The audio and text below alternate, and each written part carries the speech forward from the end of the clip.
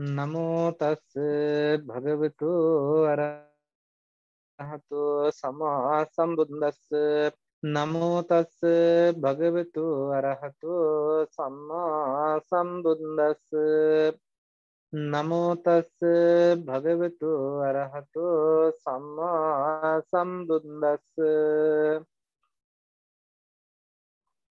සදා වන්දනීය පූජනීය මහා සංඝරත්නයන් අවසරයි. ධර්මශ්‍රවනාබිලාසී සදහැති පින්වත්නි. සතිපට්ඨාන දේශනාව පිළිබඳව අප සාකච්ඡාවන් ගණනාවක් සිද්ධ කරන්නට යෙදුනා විශේෂයෙන් මේ කායානුපස්සනාව මුල් කරගෙන ඒ සියලුම කමටහන් පිළිබඳව අප සිහිපත් කරලා දීලා ඒ පිළිබඳව ප්‍රායෝගිකව කරනකොට තිබෙන ගැටලු කාරණාවන් පිළිබඳවත් අපි සාකච්ඡා කරන්නට යෙදුනා. ඉතින් අද දවසේදී ඊළඟ ක්‍රමවේදය හැටියට වේදනානුපස්සනාවයි තිබෙන්නේ. ඉතින් අද දවසේදී මම බලාපොරොත්තු වෙනවා මේ වේදනානුපස්සනාව පිළිබඳව ඔබ දැනුවත් කරන්නට ඒ පිළිබඳව පැහැදිලි කරලා දෙන්නට. වේදනාව කියලා කිව්වහම විඳින ස්වභාවය පිළිබඳවයි පැහැදිලි කරන්නේ. එතනදී විශේෂයෙන්ම පෙන්නනවා අපිට වේදනාව කියන ධර්මතාවය ස්පර්ශය නිසාමයි වේදනාව හටගන්නේ කියලා. යම් ස්පර්ශයක් වුණා නම් ඒට අනුරූපව වේදනාවක් හටගන්නවා. මෙතනදී ස්පර්ශය නිකම්ම හටගන්නේ නැහැ. ස්පර්ශය කියන එක උපදවන්නට ස්පර්ශ ආයතන ටිකක් තිබෙනවා. ස්පර්ශ ආයතන හැටියට ඇහැ, කන, නහය, දිව, ශරීරය සහ මනස කියලා මේ විදිහට ස්පර්ශ ආයතන හයක් පිළිබඳව අපට දහමේ පැහැදිලි කරනවා. චක්කු සම්පස්සේ සෝත සම්පස්සේ ගාන සම්පස්සේ ජීව සම්පස්සේ පස්සේ සහ මනෝ සම්පස්සේ කියලා ස්පර්ශයන් හයක් පිළිබඳව කතා කරනවා. මේ ස්පර්ශයන් හයම නිසා උපදින වේදනාව තියෙනවා. ඒ වේදනාව ඒ ස්පර්ශයට අනුරූපවයි නම් කරන්නේ. ඒකයි චක්කු සම්පස්සයෙන් උපන් වේදනාව. සෝත සම්පස්සයෙන් උපන් වේදනාව. ගාන සම්පස්සයෙන් ජීව සම්පස්සයෙන් කාය සම්පස්සයෙන් උපන් වේදනාව කියලා ඒ ඒ වෙන වෙනම වේදනාව පැහැදිලි කරනවා. මනෝ සම්පස්සයෙන් උපන් වේදනාව. ආදී මේ විදිහට වේදනාව පිළිබඳව පෙන්වන්නේ ස්පර්ශය නිසා හටගත්තා වූ වේදනාවක් හැටියටයි. ඉතින් මේ වේදනාව පිළිබඳවයි අද දවසේදී අපේ අවධානය යොමු කරන්නේ ඒ වේදනාව කොයි ආකාරයකින්ද ඒ පිළිබඳව කොහොමද අපි අවබෝධයක් ලබන්නට ඕනේ කියන මෙන්න මේ දහම් කාරණයයි අද පැහැදිලි කළ දෙන්නට බලාපොරොත්තු වෙන්නේ. ඉතින් මේ වේදනානුපස්සනාව ගත්තහම මේ වේදනානුපස්සනාවේ පැහැදිලි කරනවා සැප වේදනාවක් පිළිබඳවත් එව නැතිනම් සුඛ වේදනාවක් පිළිබඳව ඊළඟට දුක් වේදනාවක් පිළිබඳව. ඊළඟට අදුක්කම සුඛ වේදනාව පිළිබඳව. සැප වේදනාව එහෙම නැතිනම් සුඛ වේදනාවක් ඊළඟට දුක් වේදනාව එහෙම නැතිනම් දුක් වේදනාව. සැපත් නොවන දුකත් නොවන වේදනාව හැටියට අදුක්කම සුඛ අදුක්කම සැපත් නැති දුකත් නැති වේදනාව කියලා මේ තුන්වෙනි කාරණේ වේදනාව විදිහට හඳුන්වනවා. මෙතනදී විශේෂයෙන්ම මේ වේදනාව නැවත මේ තුන් ආකාරයකට බෙදපු වේදනාව නැවත දෙආකාරයකින් බෙදලා පෙන්වනවා. ඒ දෙආකාරයකින් බෙදලා පෙන්වනකොට මම එක පැහැදිලි කරන්නම්. ඒ බෙදලා පෙන්වන ආකාරය මේක අද වර්තමානයේ යම් වැරදි විදිහට අර්ථයන් ගන්නවා මේ හරියට තේරුම් කරගත්තේ නැතිනම් මේ සුඛ වේදනාව දුක්ඛ වේදනාව අදුක්කම සුඛ වේදනාව කියන මේ වේදනා ත්‍රිත්වය තමයි නැවත දෙකට බෙදන්නේ. යම් කරුණු තුනක් දෙකට බෙදපුහම ඒ කාරණය දෙපැත්තකට යොමු කළහම කාරණා හයක් නිරූපණය වෙනවා මිසක් කාරණා නමයක් හම්බ වෙන්න විදිහක් නැහැ. නමුත් අද වර්තමානයේදී සමහර අර්ථකථන වලදී අපිට සමහර අදහස් වලදී අපිට මේ පිළිබඳව අහන්නට ලැබෙනවා වේදනාව නව ආකාරයක් කියලා. වේදනාව ගත්තොත් විශාල ආකාරයන් වලට බෙදන්න පුළුවන්. නමුත් මෙතනදී මේ වේදනාව ආකාර නමයකට බෙදලා තියෙනවා කියන අර්ථය ඉදිරිපත් කරනවා. නමුත් මේ හොඳට නුවණින් විමසලා බැලුවොත් වේදනාවල් නමයක් ගැන නෙමෙයි මෙතනදී කතා කරන්නේ වේදනාවල් හයක් පිළිබඳවයි. එහෙම කියන්න හේතුව අද වර්තමානයේදී මේ බෙදන ක්‍රමවේදය තුළ ගන්න අර්ථය පොඩි වැරදි විදිහකට අපි ගත්ත අර්ථයක්ද කියලා පැහැදිලි වෙනවා. එනිසා මම පෙන්වන්නම් කොහොමද මේ කාරණේ බෙදෙන්නේ කියලා. සාමිස වේදනා සහ නිරාමිස වේදනා කියලා වේදනාව දෙආකාරයකින් බෙදලා දක්වනවා. සාමිස වේදනාව සුඛ සාමිස වේදනාවක් තියෙනවා දුක් සාමිස වේදනාවක් තියෙනවා අදුක්කම සුඛ සාමිස වේදනාවක් තියෙනවා. නිරාමිස වේදනාව ගත්තහම නිරාමිස සුඛ වේදනාවක් තියෙනවා නිරාමිස දුක් වේදනාවක් තියෙනවා නිරාමිස අදුක්කම සුඛ වේදනාවක් තියෙනවා. සාමිස සහ නිරාමිස කියන ප්‍රභේදයෙන් වෙන් කරන මේ වේදනාව එතකොට ආකාර එහෙම නැතිනම් වේදනාව හය ආකාරයකට බෙදෙනවා. කාරණා හයකට බෙදෙනවා.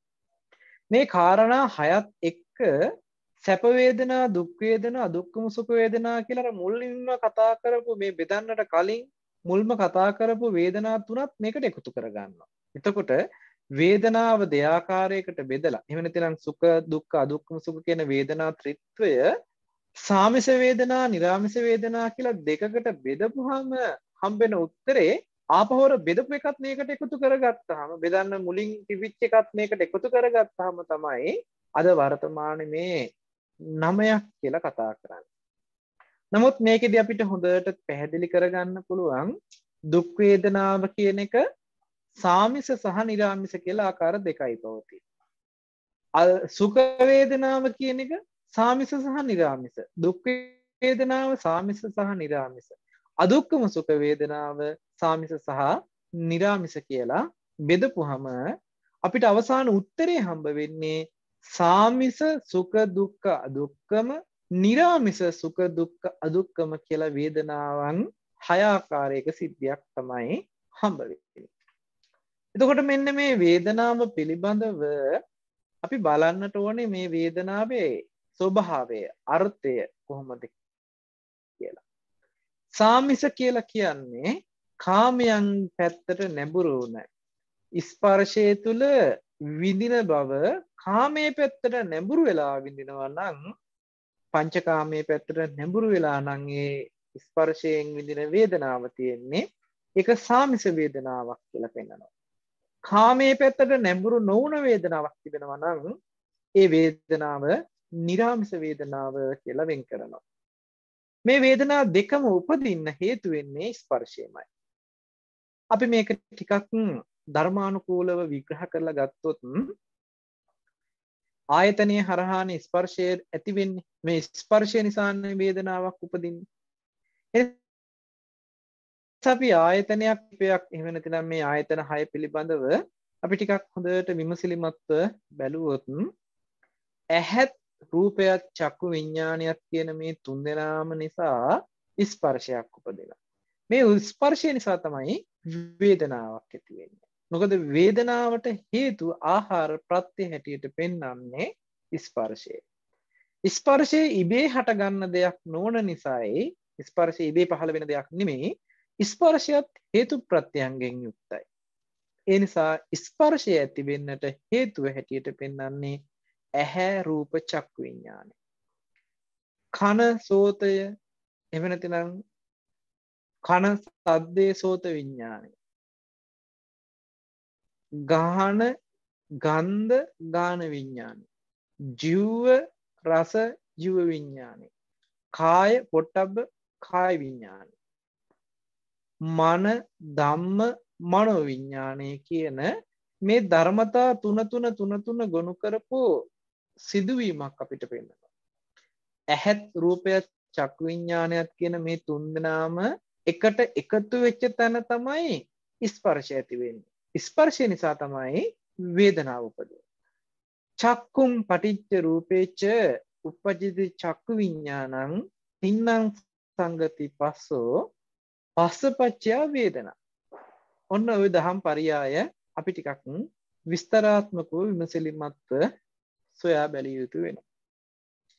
ඇහැත් රූපයත් චක්කුම් පටිච්ච රූපේච්ච. උපච්චදී චක්කු විඤ්ඥානං තින්නල් සංගති පස්සු.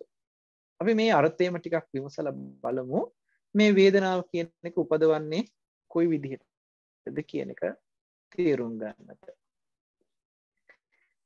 එතනදී ඇහැත් රූපයක් චක්කු විඤ්ඥානයක් කියන මේ ධර්මතා තුන එකට මුණ ගැහෙන්න්නට ඕන එක තැනක මුණ ගැහෙන්න්නට ඕන.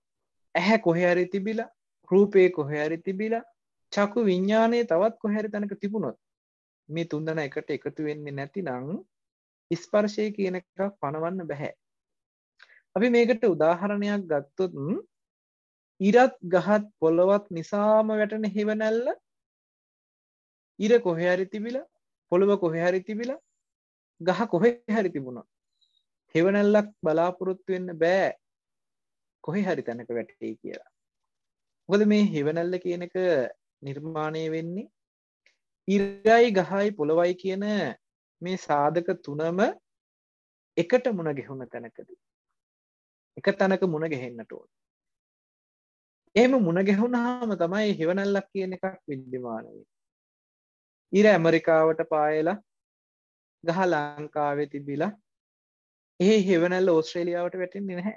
මොකද ඉරයි ගහයි පොළොවයි කියන මේ සාධක තුනම එක කෙලින් එකට තියෙන්න්නටුව එතකොටයි මේ හෙවනැල්ල කියන එකක් වැටෙන් එහෙමනං මේ හෙවනැල්ල බලන්න අරගෙන මේ හෙවනැල්ලත් එක් අපිට කිසිම ගණු දෙනුවක් කරන්න පුළුවන්ද කිය හෙවනැල්ල අතුගාන්න බෑ පිහදාන්න බෑ රැහැල සුද්ධ කරලා අයින් කරන්න බෑ සෝදන්න බෑ ඔසවල අරගෙන යන්න බෑ.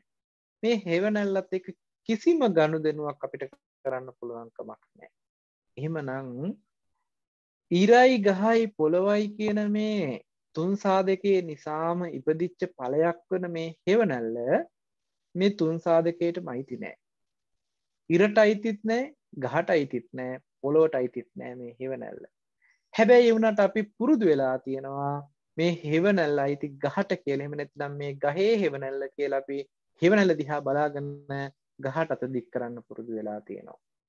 මොකද මේ ගහේ හෙවනැල්ලයි මේ වැඩිල තියෙන්නේ කියන අදහසෙන්. ඇත්තටම හෙවනැල්ල කියන්නේ ගහට අයිති එකක් නෙමේ. මොකද ගහේ හෙවනැල්ල නම් ගහට අයිති නම් මේ හෙවනැල්ල ඉරේ තියෙන කෝණේ වෙනස් වෙනකොට මේ හෙවනැල්ල වෙනස් වෙලා තියෙන්නේ ගහේ හැඩේ වෙනස් වෙච්ච හින්දා නෙමේ. ඒට පත්තිත වෙන ආලෝක කිරණවල හැඩේ වෙනස් වෙච්ච හින්දා ඒ කෝණේ වෙනස් වෙච්ච හින්දා ඒ ගහෙන් පහලට පතිවෙච්ච හෙවනැල්ල වෙනස් වෙලා තියේ. ගහේ කිසිදු වෙනසක් නොවී හෙවනැල්ල වෙනස් වෙනවා පොළවේ හැඩේ වෙනස් වෙනකොට. එනම් මේ හෙවනැල්ල කියන එක ගහට අයිති ගහේම හැඩේ දන් ගර දරනවා කියන අදහස ගත්තොත් වැරදි. එනිසා මේ ඉරත් ගහත් පොළොවත් කියන තුන් සාධකය නිසා උපදින හෙවනැල්ල මේ තුන් සාධකයෙන්ම පරිබාහිරව තියෙන හතරවෙනි සිද්ධියක් හැටියට දකින්න. ඒ වගේ ඇහැත් රූපය චක්කු විඤ්ඥානයක් නිසා උපදින ස්පර්ශය ඇහැවත් රූපයවත් චක්කු විඤ්ඥානයවත් විදිහට දකින්න එපා. ඇහැටවත් රූපයටවත් චක්කු විඤ්ඥානයටවත් අයිති දෙයක් හැටියට දකින්න එපා. මේ හේතු නිසා හටගන්නා වූ ඵලයක් කියන අර්ථයම දකින්න. ඵලය ඇතුලේ හේතු දකින්නවත් හේතුව ඇතුලේ ඵලය දකින්නවත් යන්න එපා. හේතුඵල දහම කියන්නේ ඒ තරම් සියුම්ම අවබෝධ කරගත යුතු දහම් අර්ථයක්. හේතුව ඇතුලේ ඵලය දකින්නත් එපා. ඵලය ඇතුලේ හේතුව දකින්නත් එපා. එනිසා මේ ඇහැ ප්‍රසාද මට්ටම හරියට කණ්නාඩියක් වගේ මේ කන්නාඩියට වැටෙන ඡායාව තමයි වර්ණ රූපය කියලා කියන්නේ ඇහැට පේන රූපය කියලා අපි කතා කරන්නේ මේ රූපය ඇහැල ඇස් ඉදිරි පිටට එන රූපය ගැන නෙමෙයි මේ කතා කරන්නේ ඇහි ඡායාවක් වැටෙනවා. මේ වැටෙන ඡායා මාත්‍රය ඇහි ප්‍රසාදයටයි පතිත වෙන්නේ. මේ පතිත වෙන ප්‍රසාදයට පතිත වෙන ඡායාවත් ඒ ප්‍රසාදයක් තමයි ඇහත් රූපයත් කියලා ගන්න. මේ දෙන්න එකට එක තැනක මුණ ගැහෙනවා. මුණ ගැහෙන්නේ ප්‍රසාදයේදී. චකු ප්‍රසාදයේදී තමයි රූපෙ මුණ ගැහෙන්නේ. එතෙන්ටයි අපේ හිත යොමු කරන්න පුළුවන්කම තියෙන්නේ. ප්‍රසාදයට හිත යොමු කළහම එතෙන්ට වැටුණ රූපයේ ඡායාවත් ඇහැත් රූපයත් චක්කු විඤ්ඤාණයත් කියන මේ තුන් දෙනාම එකම තැනකදී මුණ ගැහෙනවා. ඒකයි තින්නම් සංගති තුන් දෙනාගේම එකතු වීම. ඇහැත් රූපයත් චක්කු විඤ්ඤාණයත් කියන මේ තුන් දෙනාගේම එකතු වීම තමයි ස්පර්ශයක් ඇති වෙන්නේ. මේ තුන් දෙනාගේම එකතු වීම නිසා ඇතිවන ස්පර්ශය මේ තුන් දෙනාගෙන් එක්කෙනෙකුටවත් අයිති නෑ. හැබැයි මේ තුන් දෙනා නැතුව පවතින්නෙත් නෑ. තුන් දෙනා නැසුව නැතුව උපදින්නෙත් නෑ. තුන් දෙනා නැතුව පවතින්නෙත් නෑ. තුන් දෙනා නැති වෙනකොට ඉතුරු වෙන්නෙත් නෑ. එමනම් හේතු නිසා හටගෙන හේතු නැති වෙනකොට නැති වෙන ධර්මතාවයක්. මෙන්න මේ විදිහට තමයි මේ ස්පර්ශය උපදින්නේ. යම් ස්පර්ශයක් ඇති වුණොත් ඒ ස්පර්ශයේ හැකියාව තමයි ඒක විඳින බවකට පත් කරන එක. එහෙම නැතිනම් වේදනාවක් උපද්දවන එක. ඒ වේදනාව උපද්දවනකොට ඒ උපදින වේදනාව පිළිබඳව තමයි මේ වේදනානුපස්සනාවේදී අපි අධ්‍යයනය කරන්නේ. මම මේ ටික කෙටියෙන් මතක් කළේ මේ වේදනාව කියන එකට කොයිම වෙලාවකවත් ඇහැවත් රූපෙවත් චක්කු විඤ්ඥානයවත් හම්බ වෙලා නැහැ. මොකද මේ තුන්දෙනා නිසා උපදින ස්පර්ශයම ඇහැවත් රූපෙවත් චක්කු විඤ්ඥානයවත් නෙමේ අරමං උදාහරණයට මතක් කළේ හෙවනැල්ල කියලා කියන්නේ ඉරවත් ගහවත් පොළොවත් නෙමේනා ඉරටවත් ගහටවත් පොළොවටවත් අයිතිත් නැත්තා මේ හෙවනැල්ල තුළ ඉරවත් ගහවත් පොළොවත් හොයන්නත් බැරිනා මේ තුන්දෙනා නිසාම ඉපදිච්ච ඵලයක් නම් ඵලය ඇතුලේ කොයිම වෙලාවකවත් හේතු දකින්නත් බැරිනා මෙන්න මේ අර්ථයම තියාගන්න මෙතෙන්ට ඇහැත් රූපයත් චක්කු විඤ්ඥානත් කෙන මේ තුන්දෙනගේ එකතුවෙන් උපදින ස්පර්ශය තුළවත් ඇහැවත් රූපයවත් චක්කු විඤ්ඥානයවත් අන්තර්ගත වෙන්නේ නැහැ. එහෙමනං මේ ඇහැවත් රූපවත් චක්කු විඤ්ඥානයවක්වත් හම්බ නොවෙන ස්පර්ශයක් නිසා ස්පර්ශයක් අරභයා සැපවේදනාවක් හෝ දුක්වේදනාවක් හෝ අදුක්කම සුඛවේදනාවක් උපදිනකොට. මේ ස්පර් අරභයා සැපවේවා දුක්වේවා අදුක්කම සුඛවේවා යම් වේදනාවක් උපදිනකොට. මෙතනදී සැප දුක්ක අදුක්කම සුක්ක කියල කෙන සුක දුක්ක අදුක්කම සුක්ක කියන වේදනා ත්‍රිත්වය ඇතිවෙන මේ ස්පර්ශය නානත්වය අනුව. රලු ස්පර්ශයක් ඇතිවුණ දුක්වේදනාවක් උපද්දවයි. සියුම් ස්පර්ශයක් ඇතිවුණොත් සැපවේදනාවක් උපද්දවයි. රළුද නොවන සියුම්ද නොවන මධ්‍යම මට්ටමේ ස්පර්ශයක් ඇති වෙනකොට එය අදුක්කුම් සුක මට්ටමේ වේදනාවක් උපදවයි මේ විදිහට උපදින වේදනාව පිළිබඳව ස්පර්ශය නිසා උපදින වේදනාව පිළිබඳව නුවණ නැති වෙනකොට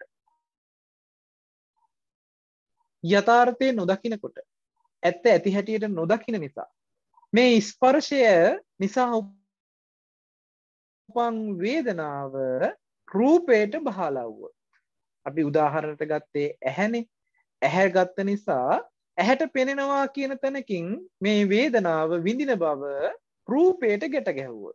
එතකොට රූපයක් විඳින බවට හම්බවේ. එහෙම නැතිනම් ඒ රූපේ ද්‍රව්‍ය කාරණා බවට ගැට ගැහුව. දෙයක් කියන තැනකට ගැට ගැහුව. අපිට දෙයක් එහෙම නැතිනම් කෙනෙක් හෝ පුද්ගලයෙක් හෝ එහෙම නැතිනම් ද්‍රව්‍ය කාරණා විඳින බවට අපිට මේ වේදනාව ගැට ගැහිලා හම්බ වේ. විඳින බව ඒට අයිති නෑමයි. නමුත් අපිට පුරුදු කළාම ආශ්‍රවයට අනුව අපිට විඳින බව තියෙන්නේ රූපයකට ගැට ගහලා. එහෙම නැතිනම් ද්‍රව්‍ය කාරණාවලට පුද්ගලයන්ට ගැට ගහලා. මේ ඇත්ත නොදැකපු ක්‍රමේ තිබෙච්ච දෝෂය. ඉතින් බුදුරජාණන් වහන්සේ නමක් ලෝකයට පහළ වෙලා අපිට මේ සතිපට්ඨානය තුල වාසය කරන්න කියලා ප්‍රතිපදාවක් පෙන්වන්නකොට වේදනානුපස්සනාවේදී අපිට පෙන්වන්නේ මෙන්න මේ විදිහට අර්ථය ගන්න කියන ධර්මතාව පැහැදිලි කිරීම. ඒ තමයි අපිට අද වේදනාවක් දැනෙනකොට ඒ වේදනාවට අද අපිට නිමිති ගැට ගහගෙන තියෙනවා. කකුලේ වේදනාවක් කියන්න පුළුවන් ඉසේරදයක් එහෙම නැත්නම් ඔළුවේ වේදනාවක් එහෙම නැත්නම් කනේ වේදනාවක් දතේ වේදනාවක් එහෙම නැත්නම් කායික වේදනාවක් කියලා ආදී මේ විදිහට අපිට මේ වේදනාවට අතපය ඔළුව කන දත් ගැට ගහගෙන තියෙනවා. වේදනාවට අතපය නැහැ දණිය නැහැ කකුල් නැහැ. එහෙම නැත්නම් කොන්දක් නැහැ. එහෙම නැත්නම් දතක් නැහැ. මේ වේදනාව කියන එකට එහෙම නිමිති නැහැ. අද අපි මේ නිමිති හදාගෙන නිමිති ගැට ගහගෙන වේදනාව ස්පර්ශය නිසා වේදනාවක් එනකොට ඒ වේදනාව ආරම්භය අපි නිමිත්තක් හදාගෙන තියෙන. ඒ නිමිත්ත තමයි අපි විඳින බවට වේදනාව බවට පත් කරගෙන තියෙන. ඔන්න ඔය විදිහට මේ ස්පර්ශය නිසා උපදින වේදනාවට බැහැර නිමිති ගැට ගහගෙන තියෙනවා නම් ඒ නිමිත්තත් එක්ක ඔසවලා අරගෙන නම් අපි විඳවන්නේ විඳින්නේ සැප වේදනාවක් දුක් වේදනාවක් අදුක්කම සුඛ වේදනාවක් විදිහට අපි මේ බැහැර නිමිති මුල් කරගෙන එහෙම නැත්නම් බැහැර අරමුණු කරගෙන නිමිති හදාගෙන අපි සැප දුක් අදුක්කම සුඛ කියන තැනකින් විඳිනවා නම් මේවා කාමයේ පැත්තට නැඹුරු වෙච්ච වේදනා. ඒ නිසා මේවට කියනවා සාමිස වේදනා කියලා. සාමිස සුඛ වේදනාව, සාමිස දුක්ඛ වේදනාව, සාමිස අදුක්කම සුඛ වේදනාව කියලා වේදනා ත්‍රිත්වයක් තිබෙනවා. බැහැරට නැඹුරු වෙලා කාමයේ පැත්තට නැඹුරු වෙලා විඳින වේදනාව හැටියට. එහෙමනම් හැමෝටම පැහැදිලි ඇති මේ වේදනාව සාමිස වේදනාවක් බවට පත්ුනේ කොහොමද කියලා. සාමිස වේදනාවක ස්වභාවය තමයි කාමයේ පැත්තට නැඹුරු වෙලා කාමයේ විඳින බවක් තියෙනවා.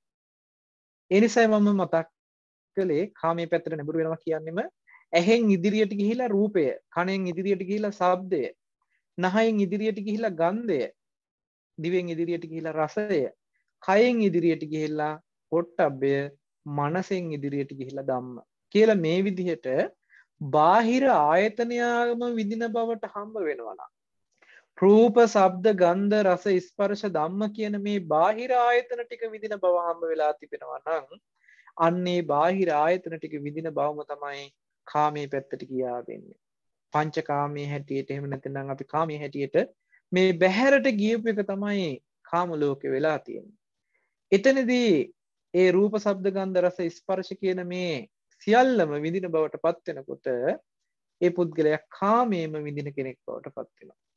ඒ විඳින්න පුළුවන්කම තියෙන්නෙත් ආයතනය හරහා ස්පර්ශ වෙච්ච ස්පර්ශයක් වින්මයි උපද්ද වේදනාවමයි. එනිසා වේදනාව කියන එක ස්පර්ශය නිසා ඉපදිච්ච වේදනාවක්. හැබැයි මේ අර්ථය අවබෝධය යථාර්ථය නොදකින නිසා විදින ස්වභාවයේ තියෙනවා කාමයේ පැත්තට නැඹුරු වෙලා. කාමයේ පැත්තට නැඹුරු වෙලා විඳින වේදනාවල් නම් කරනවා සාමිස වේදනා හැටියට. සාමිස වේදනාවේ සුඛ වේදනාව, දුක් වේදනාව, අදුක්කම සුඛ වේදනාව.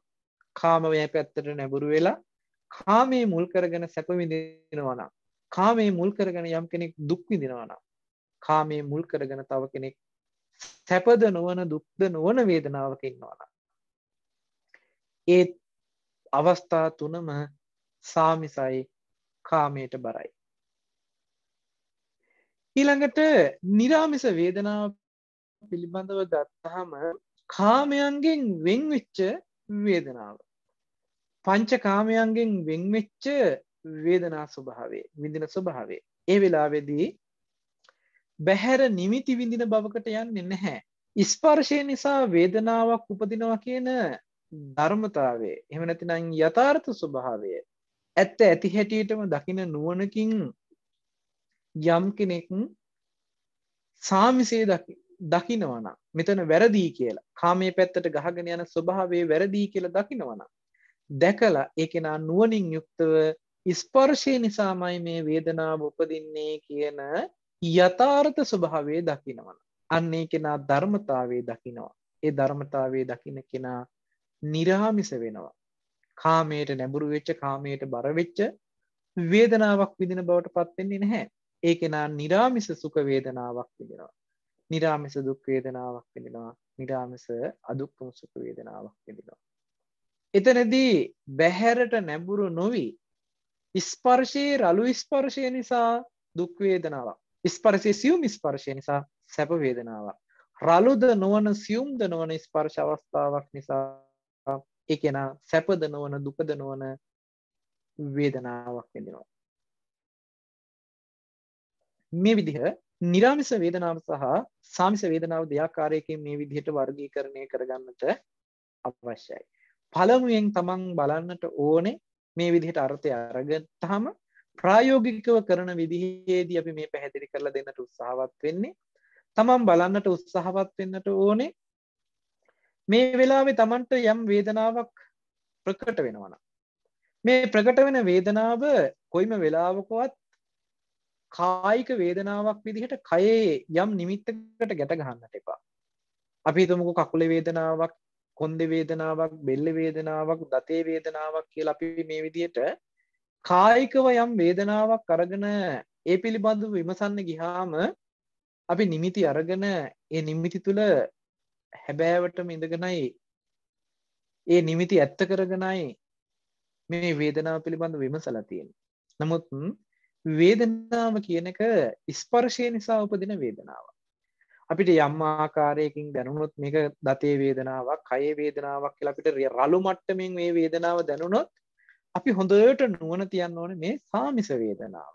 කාමයේ පැත්තට නැඹුරු වුණ කාමයේම ඇසුරු කරන කාමයේ තුලම විඳින වේදනාවක් තමයි මේ වේදනාව. ඒ වේදනාවද හටගත්තේ ස්පර්ශය නිසා වේදනාව උපදින එහෙම නැතිනම් කාය ස්පර්ශයෙන් කාය සම්පස්යෙන් උපන් වේදනාව කාය සම්පස්යෙන් උපන් වේදනාවක් කියලා හඳුනාගත්තේ නැති හින්දායි දතේ වේදනාව, දණිහි වේදනාව, කොන්දේ වේදනාව, කකුලේ වේදනාව ආදී වශයෙන් අපිට නිමිති හම්බ වුණේ කියන ඒ වැරද්ද ඉස්සරලා හොඳට පෙන්වලා දෙන්නට ඕනේ.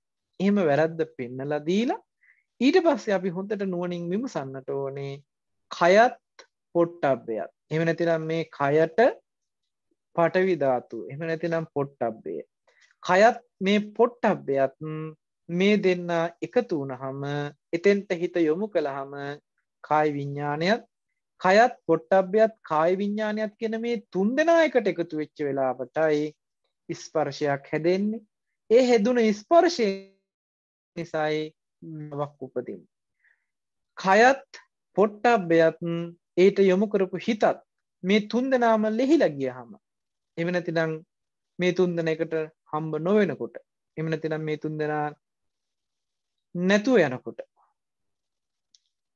ස්පර්ශය කියන එකක් උපදින්නට හේතු නෑ ස්පර්ශය නැතුව යනකොට වේදනාව නැතුව යනවා. එමනම් මේ වේදනාව ඇති වුණේ කොහොමද? මේ වේදනාව නැති වෙන්නේ කොහොමද? මේ වේදනාව උපද්දවන්න මෙන්න මෙහෙමයි. මේ වේදනාව නිරුද්ධ වෙන්න මෙන්න මෙහෙමයි කියලා උපදින හැටි සහ නැති වෙන හැටි බලනකොට උදේවැය බලනවා කියලා පෙන්වනවා. හේතු නිසා හටගෙන හේතු නැති වෙනකොට නැති වෙනවා කියන අර්ථයෙන් බලනකොට හේතුඵල ධමයක් අපිට අවබෝධ වෙනවා. දර්ශනයට අනුවයි මේ බලන්නේ. අපි දර්ශනයක් අහලා දැනගෙනයි මේ අපි මේ කටයුතු ටික කරන්නේ. ඒ නිසා වේදනාව කියන එක හේතු නිසා හටගෙන හේතු නැති වෙනකොට නැති වෙන විදිහ බලනකොට සමුදේ ධම්මානුපස්සීවා කාය සමුදේ ධම්මානුපස්සීවා සමු ඊට පස්සේ වය ධම්මානුපස්සීවා කියලා පෙන්නනවා මේ දෙක හේතු නිසා හටගන්න බවත් හේතු නැති වෙනකොට නැති වෙන හැටිත් බලනවා වේදනාව සාමිස වේදනා සහ නිරාමිස වේදනා වශයෙන් වෙන් කරගන්න දක්ෂ වෙන්නට ඕනේ. ඒ වෙන් කරගත්තට පස්සේ අපි හඳුනගන්න ඕනේ මේ වේදනාව සාමිස වේදනාවක්ද මේ වේදනාව නිරාමිස වේදනාවක්ද? වේදනාව කොයි ආකාරයකින් ඉපදෙනවද? සැප සහිත වේදනාවක්ද? දුක් සහිත වේදනාවක්ද? අදුක්කම සුඛ වූ වේදනාවක්ද? වේදනාව මේ කොයි ආකාරයකින් ඉපදුනත් වේදනාව උපදින්න පුළුවන්කම තියෙන්නේ ස්පර්ශය නිසායි. වේදනාව උපදින්නේ. ස්පර්ශය උපදින්නේ කොහොමද කියලා විමසනකොට තමයි අපිට ඇහැ රූප චක්කු විඤ්ඤාණ නිසා ස්පර්ශය උපදිනවා. කන සද්ද සෝත විඥානය නිසා ස්පර්ශය උපදිනවා. ඊළඟට නහය ගන්ධය ගහන විඥානය නිසා රස දිව රස ජීව විඥානය නිසා කය පොට්ටබ්බය කාය විඥානය නිසා හිත එහෙම නැත්නම් මනස ධම්මායතනය මනෝ විඥානය නිසා කියලා මෙන්න මේ ආයතනයාගේ කෘත්‍ය නිසායි ස්පර්ශ වෙන්නේ. ස්පර්ශය නිසායි වේදනාවක් උපදින්නේ. ආයතනයාගේ කෘත්‍ය බිඳ වැටෙන්නේ කොතනද? ස්පර්ශයත් එක්කම බිඳ වැටෙනවා. ස්පර්ශය බිඳ වැටෙනකොට වේදනාව බිඳ වැටෙනවා. වේදනාව නිරුද්ධ වෙනවා. ඒ නිසා නොතිබීම හටගෙන ඉතුරු නැතුවම නැති වෙන සිද්ධියක් මේ වේදනාව කියන්න කියන තැනින් අපි බැලුවාම වේදනාව පිළිබඳව අපිට නිමිති ඉතුරු වෙන්නේ නැහැ. වේදනාව පිළිබඳව අපිට සිහි කරන්න නිමිති නැහැ. කායික වේදනාව කියලා අපි සිහි කළොත් අපිට දතේ කැක්කුම, හිසේ කැක්කුම, කොන්දේ කැක්කුම කියලා ආදී අපි සිහි කරන්නේ හිතින් එතෙන්ට ඔසවලා දුන්න නිමිති ටිකක් නිසායි. ඒ නිමිති ටික දුරු වෙන විදිහට අපි වේදනානුපස්සනාව වඩන්නට ඕනේ.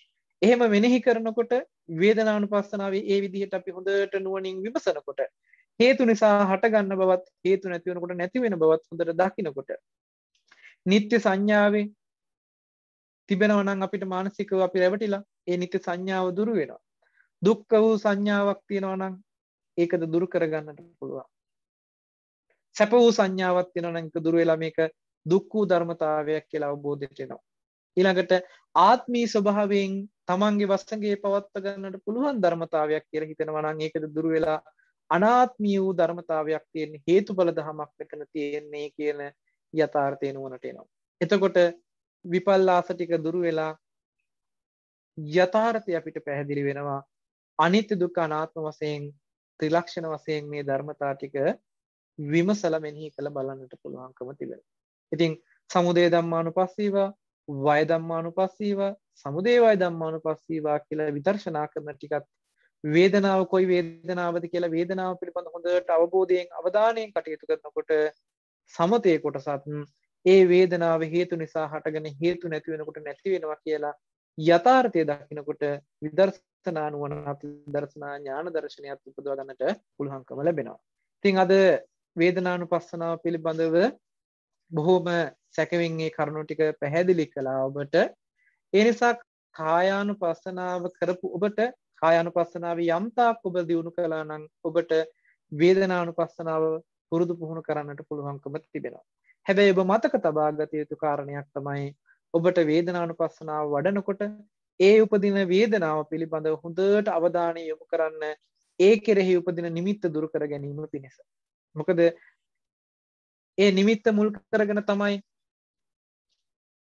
අපිට ඒ නිමිත්ත මුල් කරගෙන තමයි අපේ මානසික මට්ටමේ රැවටීමකට ලක් වෙන්නේ ඒ නිමිත්තට තමයි අපි මේ වේදනාව ගැට ගහන්නේ ඒ වේදනාව යොමු කරවන්නේ ඒ නිසා අපි හොඳ නුවණකින් ඒ පිළිබඳව තීක්ෂණ බවකින් අවබෝධ කරගන්නට ඕන කරනවා ඒ කෙරෙහි විදර්ශනා කරන්නට ඕන කරනවා ඒ නිසා අපි අද දවසේදී වේදනානුපස්සනාව පිළිබඳ වූ දහම් පරියාය එහෙම නැතිනම් වේදනානුපස්සනාව පිළිබඳව පැහැදිලි කරලා දෙන්නට යෙදුණා.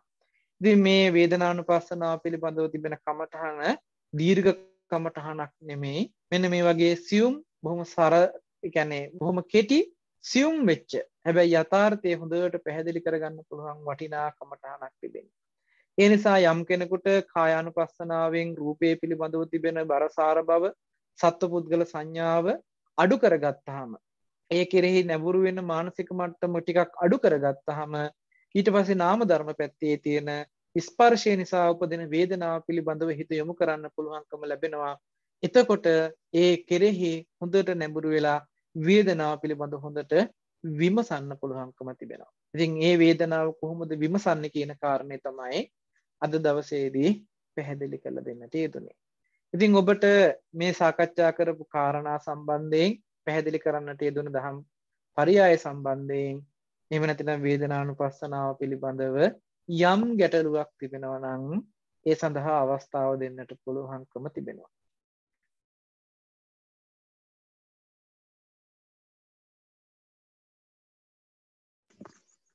හොඳයි. තෙරුවන් සරණයි හැම දෙනාටම. දැන් අපේ ස්වාමීන් වහන්සේගෙන් මොනොහරි කායනුපස්සනාවට සම්බන්ධ ගැටලු හරි සති නිමිත්තට සම්බන්ධ ගැටලු හරි අද දින වේදනානුපස්සනාවට සම්බන්ධ ගැටලු හරි තියෙනවා නම් කරුණාවෙන් දැන් යොමු කරන්න පුළුවන්. මම දැන් යොමු වෙනවා සුරේකා මහත්මියට. ප්‍රශ්නය යොමු කරන්න. අවසරයි ස්වාමීන් වහන්ස නිරාමිස වේදනාව ගැන චුට්ටක් උදාහරණත් එක්ක පැහැදිලි කිරීමක් කරන්න පුළුවන්ද? ඔව් නිරාමිස වේදනාව කියලා කියන්නේ කාමයන් පැත්තෙන් වෙන් වෙලා තියෙන මානසික මට්ටම ඒකෙදී අපේ සමාධි මට්ටම කියලා ගත්තහමත් කාමයෙන් වෙන් වෙලාමයි තියෙන. ඒ කියන්නේ රූපාවචර මට්ටමේ, අරූපාවචර මට්ටමේ සහ ලෝකෝත්තර මට්ටමේ කියන කාරණා ටිකම කාමයෙන් වෙන් වෙච්ච මානසික මට්ටමක්. ඒ කියන්නේ පංචකාමයේ පැත්තට නැඹුරු වෙලා නැති මට්ටම. නමුත් ඔතනදී ඒ ඒ අවස්ථාවට අනුව එන වේදනාවේ ස්වභාවය වෙනස් වෙන්න පුළුවන්කම තිබෙනවා. අපි සරලව ගත්තොත් අපිට මේ ස්පර්ශය නිසා උපදින වේදනාවේ සැප වේදනාවකුත් දුක් වේදනාවකුත් අදුක්කම සුඛ වේදනාවකුත් කියන මේ වේදනා ත්‍රිත්වය දකිනවා ස්පර්ශය නිසායි හටගන්නේ කියලා. එතකොට නාම ධර්ම ටික නිසා උපදින සිද්ධියක් කියන හැඟීම තමයි ඒ කෙනාගේ නුවණට හම්බ වෙන්නේ. මම මේක අර වෙන් කරලා පැහැදිලි කළාට මම හිතන්නේ අර්ථය ගන්නකොට බැරි වෙන්නේ නැති. ස්පර්ශය නිසා උපදින වේදනාව කියන තැනකින් හොඳට නුවණ තිබ්බොත් ඒ ස්පර්ශය නිසා උපදින වේදනාව කියන තැනට වේදනාවට නිමිති හම්බ නොවෙන විදිහට. ඒ කියන්නේ වේදනාවට අතපය හම්බ නොවෙන විදිහට දත හම්බ නොවෙන විදිහට ඔළුවක් හම්බ වෙන කොන්දක් හම්බ නොවෙන විදිහට නිමිති හම්බ නොවෙන විදිහට වේදනාව කැටි කරලා ගන්නවා ස්පර්ශය නිසායි වේදනාව ඇති වෙන්නේ කියලා. අන්න ඒ විදිහට ධර්මතා පැත්තේ එහෙම නැතිනම් නාම ධර්ම ටික පැත්තේ තියෙන වේදනාව කියන කාරණේම ප්‍රකට කරගන්නවා. එහෙම නැතිනම් අපිට වේදනාව කියලා අත දික් කරන්න වෙනවා රූපේ පැත්තට. මේ මෙතනයි වේදනාව තියෙන්නේ මෙතනයි වේදනාව තියෙන්නේ කියලා රූපේ පැත්තට අත දික් කළොත් ඒක සාමිස වෙනවා. නාම ධර්ම පැත්තේ ස්පර්ශ නිසා වේදනාව උපදිනවා කියන යථාර්ථය එහෙම නැතිනම් යථා සිද්ධියකට අපි හිත යොමු කළොත් ඒ පැත්ත නිරාමිස වෙනවා. ඒ නිසා දැන් ඇහැ රූප චක්කු විඥානය නිසා ස්පර්ශයක් නිසායි වේදනාව උපදින්නේ කියනකොට වේදනාව වෙත උනේ ස්පර්ශය නිසා කියන තැනකින් නතර වෙන්න පුළුවන් නම් අපිට ස්පර්ශය නිසායි වේදනාව ඇති උනේ කියන ධර්මතාවය දකින්න නුවණකින් ඉතුරු කරගන්න පුළුවන්කම තියෙනවා නම් නුවණින් ඒක දකින්න පුළුවන් නම් ඒ දකින අවස්ථාව නිරාමිස අවස්ථාවක් බවට පත් වෙනවා. පැහැදිලි ඇති කියලා හිතනවා. පැහැදිලි ස්වාමින් වහන්සේ තෙරුවන් සරණයි. තෙරුවන් සරණයි. අවසරයි අපේ ස්වාමීන් වහන්සේ මේ ඒ ඒ සුරේකා මහත්මිය අහපු ප්‍රශ්නෙටම අදාළව දැන් අර මේ මේ වේදනානුපස්සනාවේ තියෙනවනේ අපේ ස්වාමීන් වහන්සේ ඉති අජ්ජත්තං වා වේදනානු වේදනාසු වේදනානුපස්සී විහෙරති බහිද්ධාවා වේදනාසු වේදනානුපස්සී විහෙරති අජ්ජත්තං බහිද්ධ බහිද්ධාවා වේදනාසු වේදනානුපස්සී විහෙරති කියලා. එතකොට ඔය ස්පර්ශයෙන් නවතින තැන තමයි අජ්ජත්තං බහිද්ධං වා වේදනාසු වේදනානුපස්සී විහෙරති කියන තැන නේද අපේ ස්වාමීන් වහන්සේ? නෑ මහත්තයා උත්තනදී ඒකන ස්පර්ශය නිසා වේදනාව ඇති වෙන ආධ්‍යාත්මික පැත්තේ සිද්ධිය දකිනවා කියන තැනකට එනකොට ඒ සිදුවීම පෙන්වන්න තියෙන්නේ මහත්තයා නිරාමිස පැත්තටම බෙදලා ඒ වේදනාවට නිමිති ගැට ගැහුවොත් ඒක පෙන්වන්න තියෙන්නේ සාමිස පැත්තට බෙදලා. ඒ ආකාර දෙකම තමන්ගේ තමන්ගේ පැත්තිෙන් වෙනවා නම් ඒ කියන්නේ දැන් පුද්ගල වශයෙන් අපි කතා කළොත් තමන්ට ඒ වේදනාව ওই දෙආකාරයෙන්ම උපදින්න පුළුවන්. පරසත්තානංවා පරපුද්ගලානංවා කියන අර්ථය පෙන්වනකොට අන් අයගේද වේදනාව උපදිනවා නම් ඒ උපදින්නේ toy ආකාරයෙන්ම කියලා අපිට රළු වශයෙන් ওই විදිහට හිතන්න පුළුවන්කම තියෙනවා. පැහැදිලිද? ඊට පස්සේ ඕක තවත් ඕක තවත් සියුම් මට්ටමකට එනකොට මොකද තණ්හාව යෙදෙන මට්ටමක් තියෙන්නේ අපි බහැරට යන සිද්ධිය නිසාමයි. බහැර බහැර පැත්තට යන නිසාමයි. ඒ කියන්නේ එතකොට ඒ ඒ තණ්හාව මට්ටම කෙලෙස් මට්ටමකින් අවිද්‍යා මට්ටමකින් ඇති කරගන්න මට්ටමට බහැරට වේදනාව යවුණොත් ඒක බාහිර පැත්තෙන් පෙන්වන්න පුළුවන්. ඒක නාම ධර්ම ටික පැත්තෙන් කෙලෙස් ටික යෙදෙන්නේ නැතුව විපාක මට්ටමින් හම්බෙන ටික ආධ්‍යාත්මික පැත්තෙන් පෙන්වන්න පුළුවන්. ඒ කියන්නේ විපාක මට්ටමේ තියෙන සිද්ධිය ආධ්‍යාත්මික මට්ටෙන් පෙන්නලා බාහිර පැත්තට ගිහින් තියෙන්නේ කර්ම මට්ටමෙත් අපිට විඳින බවක් තියෙනවානේ. ඒ කියන්නේ දැන් ඇහැට රූපයක් පේනවා කියන සිද්ධියේදී විපාක මට්ටමේ වේදනාවකුත් තියෙනවා. ඒ රූප මොනවද කියලා අපි එළියට ගිහිල්ලා බලන්න යනකොට බහැරට යොමු වෙච්ච නිසා එතන බාහිර මට්ටමිනුත් කාරණේ පෙන්වන්න පුළුවන්කම තියෙනවා. නමුත් දැනට ඕකේ ප්‍රධානම කාරණාව වෙන්න ඕනේ මෙන්න මේ නිමිති නිමිති හදාගෙන බලනවා කියන සිද්ධිය සහ නිමිති වලින් තොරව ස්පර්ශය නිසා වේදනාව උපදිනවා කියන මෙන්න මේ ධර්මතා දෙක වෙන් කරගත්තාම සාමිස සහ නිරාමිස කියලා දෙපැත්තට වෙන් කරගන්න පුළුවන්කම ලැබෙනවා. පැහැදිලිද මහත්තයා? හොඳයි ස්වාමීන් වහන්සේ පැහැදිලි අපේ ස්වාමීන් වහන්සේ. ඔව්. මේක මට හිතන්නේ මේක මානසිකාරයක් නේද කියලා. ඒක අවබෝධයක් නෙමෙයි මම තේරෙනවද මගේ ප්‍රශ්නේ? ඕ මනසිකාරයකින් කරන්න ඕනේ මුලින් මොකද ඊට පස්සේ මේ මනසිකාරයකින් කරනකොට එතර මේක යෝනිසෝ මනසිකාරයකින් වෙන්න පේ නුවණකුත් උපදින විදිහේ මනසිකාරයක්නේ. ඒ කියන්නේ මොකද මේකේ අපිට මනසිකාරය කරලා ගන්න වෙන්නේ මූලික වශයෙන් අද අපිට නාම ධර්ම ටික තාම ප්‍රකට නැහැ. ස්පර්ශය ප්‍රකටත් නැහැ, වේදනාව ප්‍රකටත් නැහැ සියුම් මට්ටමේ. ඒ වේදනාව අපිට ප්‍රකට වෙලා තියෙන්නම නිමිත්තකට ගැට ගැහුවට පස්සේ තමයි අපිට වේදනාව. ඒකයි අපි හැම වෙලේම වේදනාවක් එනකොට ස්පර්ශ නිසා වේදනාවක් ඇති වුණා කියන තැනකින් නුවණ නතර නොවි කකුලේ වේදනාව ආවා කොන්දේ වේදනාව ආවා කියලා වේදනාව පැත්තට අපි දකින්නේ නැතුව ආපහු රූපේ පැත්තට අත දාලා වේදනාව දකින්න හදන්නේ. ඒ කියන්නේ දැන් කාය කයත් පොට්ටබ්බයත් නිසා ඒ කියන්නේ කයත් පොට්ටබ්බයත් එතෙන්ට යොමු වෙන කාය විඥානයත් නිසා නැති වෙන්නේ ස්පර්ශය. එතකොට ස්පර්ශය නිසා වේදනාවක් උපදිනවා කියන එක නුවණකින් හඳුනා ගන්න ඕන එකක් නිසා විඥානය අත්දැකීමක් නැහැ. ඒ නිසා අපිට විඥානය අත්දැකීමට තියෙන නිමිත්තකට හදාගත්තාම නිමිත්තට හදාගත්තාම තියෙන අත්දැකීමට තමයි අපි අත දාන්නේ මේ කකුල රිදෙනවා එහෙම නැතිනම් කොන්ද රිදෙනවා කියලා අර නිමිත්තටම තමයි අපේ හිත යොමු කරවන්නේ. හැබැයි ඇත්තටම වෙලා තියෙන්නේ කාය පටිච්ච පොට්ටබ්බේ උප්පද්දිජි කාය විඥානං තින්න සංගති පස්සෝ කියන සිද්ධියක් මේ වෙලා තියෙන්නේ. හැබැයි මේ තුන් දෙනාගේ නිසා ඇති වෙච්ච ස්පර්ශය ධර්මතා ටිකක් හැටියට අපි දකින්නේ නැහැ තාම මේක අපිට රළු මට්ටමකින් බලන්න පුළුවන් සිද්ධියක් නෙමෙයි. ඒ නිසා තමයි මම මතක් කරේ ඔබට මෙන්න මෙහෙම සිද්ධියක් තියෙනවා. මේ සිද්ධිය තුල නිමිති හදාගෙන නිමිති තුල තමයි අපි සැප දුක් අදුක්කම සුඛ විඳින බවකට ඇවිල්ලා තියෙන්නේ. ඒක පෙන්නනවා සාමිසයි කියලා. කාමයට නැඹුරු වෙච්ච කියලා. ඒකයි මේ දෙපැත්තක් බෙදලා පෙන්නන්නේ.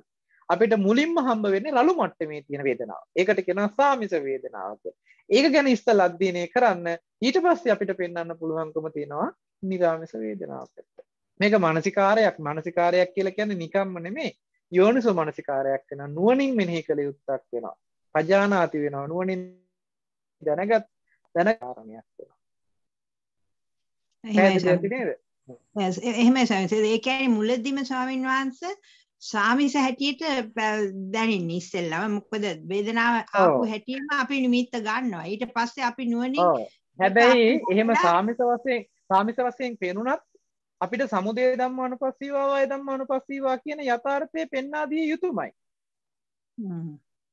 ඒ කියන්නේ මේක මෙහෙම උනේ මෙහෙමයි. මේක නොදැක්ක නිසා අපිට මෙහෙම අද හම්බ වෙලා තියෙන්නේ. හැබැයි මේක වෙලා තියෙන්නේ මෙන්න මෙහෙම නිසා හේතු නිසා හටගෙනමයි හේතු නැති වෙනකොට නැති වෙනවා කියන යථාර්ථය පෙන්වලා දෙන්න ඕනේ. මොකද අපි මේ දර්ශනීයක් අනුව තමයි මේ භාවනාව කරන්නේ. මොකද අපි කලින් අහලා දැනගත්තනේ දර්ශනේ. හේතුඵල ධර්මයක් නේ පෙන්වන්නේ. එහේ ස්වාමීනි. එතකොට ස්වාමී අර හිත යනකොටම මේ එළියට යනකොටම ඒකට පෙන්ලා දෙන්න ඕනේ මෙහෙම නෙමෙයි මේකයි මේ ඇත්ත කියන එක. ඔව් එළියට යනවා නිමිත්තකින් නිමිත්තක් ඔව් නිමිත්තක් හදාගෙන එළියට යනකොටම සාමිසයි කියලා දැනගන්න. දැනගත්ත ගමන්ම කරන්න තියෙන්නේ සිහිය දැන් සිහිය පවත්වනවනේ මේ සතිපට්ඨානේ. හොඳට සිහියෙන් ඉඳගෙන මේ වැඩේ කරන්නේ. එතකොට අපිට ඔන්න හොඳට සිහිය තියෙනවා. නුවණ තියෙනවා. ටග්ගාල වැරද්ද පෙන්වලා දෙනවා. ඒකල හරියක මොකක්ද කියලා පෙන්වලා දෙනවා. හැබැයි අපි අඳුරනවා මේ වේදනාව සාමිසයි. තාම නිරාමිස පැත්තට ආවේ නැහැ. මොකද තාම නාම ධර්ම ටිකේ වේදනාව කියන තැනකින් අපිට හම්බුනේ නැහැ. තාම අපිට මේ රූපෙට ගැට ගහලා නිමිති වශයෙන් හම්බ වෙලා තියෙන්නේ කියන උත්තරේ තමයි හම්බ වෙන්නේ. හැබැයි අපි ඇත්ත පෙන්වන්න ඕනේ. ඇත්ත ඒක පෙන්නගෙන පෙන්නගෙන යනකොට අපිට පහු වෙනකොට සාමිස වලට යනකොට සාමිසේ ගෙවිලා යනවා නිරාමිසේ පැත්ත ප්‍රකට වෙනවා. හරි ප්‍රකට වෙනවා. ආ. තුන්වන් සරණයි ස්වාමීන් වහන්සේ. හොඳයි තේරුම් ගන්න. හොඳයි තව ප්‍රශ්න තියෙනවා නම් ගමු කරන්න. කවුරු හරි ප්‍රශ්නයක් යොමු කරනකම් මම මේ Uh, එවලා තියෙන uh, ප්‍රශ්නයක් තියෙනවා. ඒක uh, අපේ ස්වාමින් වහන්සේට යොමු කරනවා.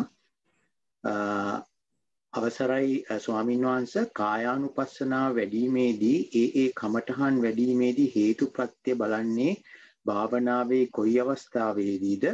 හේතුප්‍රත්‍ය හැටියට රූප සමුදයට අවිද්‍යාව කර්ම තණ්හා ආහාර නිබ්බන්ති ලක්කන යෙදෙන බව අසා ඇත්තෙමි.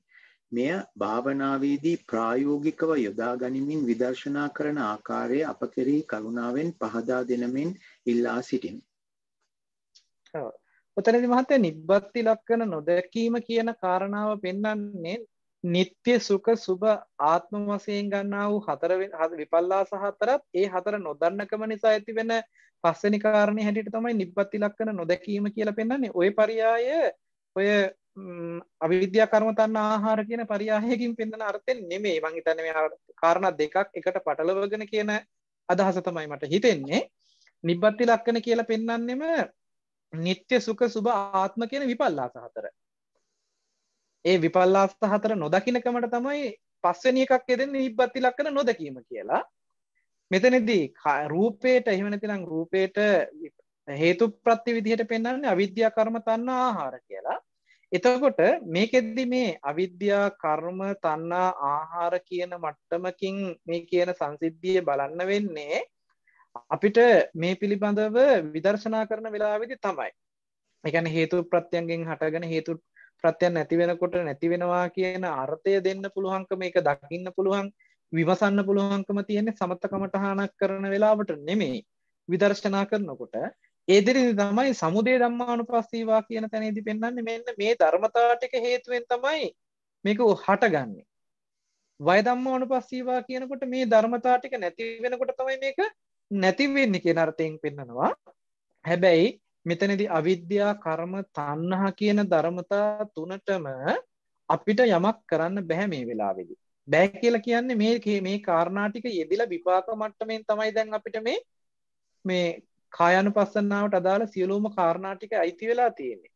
අපි එතනදී ආහාර ප්‍රත්‍ය විතරක් අරගෙන කතා කරනවා මොකද මේ ආහාර ප්‍රත්‍යයෙන් තමයි පවත්වගෙන යන්නේ. ඒ කියන්නේ උදාහරණයකට කිව්වොත් අපි අද වර්තමානයේ සම්මත ක්‍රමයට අපි උපදිනවා කියන තැනේදී මව් කුසෙන් බිහි වෙනකොට ආයතනයාගේ මුහුපුරා යාමක් කියන කාරණාව වෙනකොට මේ අවිද්‍යාවෙන් කර්මෙන් තණ්හාවෙන් කියන මේ ධර්මතා ත්‍රිත්වයෙන් සහ ආහාරයෙන් කියන කාරණා ප්‍රත්තියෙන් මේ කය හදලා සකස් කළ ඔක්කොම කරලා ඉවරයි දැන්. ඒ නිසා අපිට මේ කයේ කොටස් ටික ගැන හොඳට විමසලා විමසලා විමසලා කොච්චර විමසලා බැලුවත් ඒ කොටස් ටික හැදෙන්න හේතු වෙච්ච අවිද්‍යාව, කර්මය, තණ්හාව කියන ටික නැති කරන්න බෑ. අපිට ආහාර ප්‍රත්‍ය පිළිබඳව විතරයි අපිට වර්තමානයේ මේක පවත්වගෙන යන්න හේතු වෙන්නේ ආහාර ප්‍රත්‍යය. ඒ කියන්නේ මේ කය පවත්වගෙන යන්නේ මේ රූපේ පවත්වගෙන යන්නේ ආහාර ප්‍රත්‍ය. ඒ නිසා ජනක ප්‍රත්‍යයෙන් සහ උපත්තම්බක ප්‍රත්‍යයෙන් කියලා ප්‍රත්‍ය දෙකකට බෙදෙනවා. එතන ජනක ප්‍රත්‍යයෙන් තමයි අවිද්‍යා කර්ම තණ්හා කියන ප්‍රත්‍ය තුන තියෙන්නේ. කියන්නේ උපදී උපද්දවන්න. උපද්දවන්න හේතු වෙච්ච ධර්මතා සහ පවත්වන්න හේතු වෙච්ච ධර්මතා කියලා ධර්මතා දෙකක් වෙනවා. ඒ නිසා තමයි මේ කයේ කෙස්ලොම් නියද සම්මස්නහර ඇට ඇට මිදුළු ආදී කියන මේ කුණප ටික ඔක්කොම හැදිලා තියෙන්නේ කනබොන ආහාරයෙන් කියන පවත්වාගෙන යන්නට හේතු වෙන ආහාර ප්‍රත්‍ය විතරක් පෙන්නලා දෙන්නේ. අපි මේ දේ කරනකොට දුරු වෙන්නේ මේ කෙරෙහි අපි සංකල්පනා වශයෙන් හදාගෙන තිබුණා නම් යම් අවිද්‍යාවක්. ඒ අවිද්‍යාව දුරු කරනවා. ඊළඟට මේ යථාර්ථයේ දකිනකොට අවිද්‍යාව දුරු වෙනකොට ඒ කෙරෙහි තණ්හාවක් යොමු වෙන්න හේතු සාධක නැතුව යනවා. රූපේ පැත්තට. තණ්හාව නැතුව යනවා. ඊට පස්සේ තණ්හාව නැතුව යනකොට කර්ම කරන්න බැරුව යනවා. අවිද්‍යා කර්ම තණ්හා කියන මේ ධර්මතා තුනම ගලවනවා අපි විදර්ශනා ඥාන දර්ශනයකින් මේක බලනකොට. එහෙම නැතුව දැන් අවිද්‍යාව මේකයි මේක නැති කරන්න ඕනේ කියලා අවිද්‍යාව නැති කරන්න බෑ. දැන් තණ්හාව මේකයි තණ්හා නොකර ඉන්න ඕනේ කියලා තණ්හාව නැති කරන්න බෑ. දැන් මේ කර්ම විපාකයක් මේ කර්ම විපාකේ ගලවලා අයින් කරන්න ඕනේ කියලා අපිට කර්ම විපාකේ ගලවලා අයින් කරන්න පුළුවන් කමක් නැහැ. නැවත අවිද්‍යාව නොයදෙන විදිහට, නැවත කර්ම රැස් නොවන විදිහට, නැවත තණ්හාව ඇති නොවන විදිහට බලන ක්‍රමය තමයි වර්තමානයේදී කරන්න පුළුවන්කම තියෙන්නේ. අර කිව්ව කමඨහනේ කරන වැඩපිළිවෙලේදී මේ කියන අර්ථයම සිද්ධ වෙනවා. මොකද මුළු සමස්ත ධර්මතාවයන් සියල්ලම අපිට එකපාර කතා කරලා කොහොම මේ ටික මෙව කරන්න බෑ මොකද 84000ක් ධර්මස්කන්ධයේ සියල්ලම මේ සතිපට්ඨානය ඇතුලේ ක්‍රියාත්මක වෙන ක්‍රියාකාරකම තුළින් විද්‍යමාන කරන්න පුළුවන්කම තියෙයි. හැබැයි මේ සියලුම කාරණා ටික මේක ඇතුළේම තියලා කතා කරන්න බැරි වෙයි. මොකද කාලය ඉච්චරකට මහා දීර්ඝ දේශනාව වෙයි. නමුත් අපිට නුවණකින් මේක ඇතුලේ තියෙන අර්ථය මෙන්න මෙහෙම අර්ථයක් බලාගෙනයි මේ කියලා තියෙන්නේ කියන එක පුරව ගන්න නුවණ තියෙන්නට ඕන. තේරුණා. පැහැදිලි නේද? පැහැදිලි ස්වාමීන් වහන්සේ. ඒ කියන්නේ ඇත්තටම මෙහෙම ගත්තොත් ඔක අවබෝධයක් නේ අපේ ස්වාමීන් වහන්සේ. එතකොට මේ මොහොතේදී වෙන එකක්. එතකොට දැන් අපිට වැරදියට රූපයක් පෙනුනොත් බාහිරින් එතකොට ඒ පෙනුනේම මේ මොහොතදී මෙහි මොහොතේදී ගත්තොත් එතනට අවිද්‍යාව තණ්හාව කර්මයේ ඉදිච්ච වෙදුනයි කියලා බලන්නත් පුළුවන් නේද ස්වාමීන් වහන්සේ? අවබෝධය වෙන්න.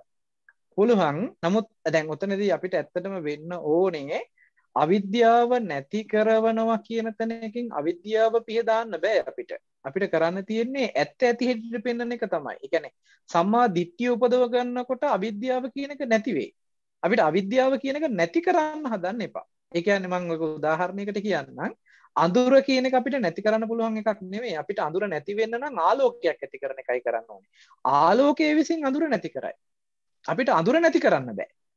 අඳුර කියන තියෙන අවස්ථාව නැති වෙන්න නම් අපි කරන්න ඕනේ ආලෝකය කියන එක ඇති කරන එකයි.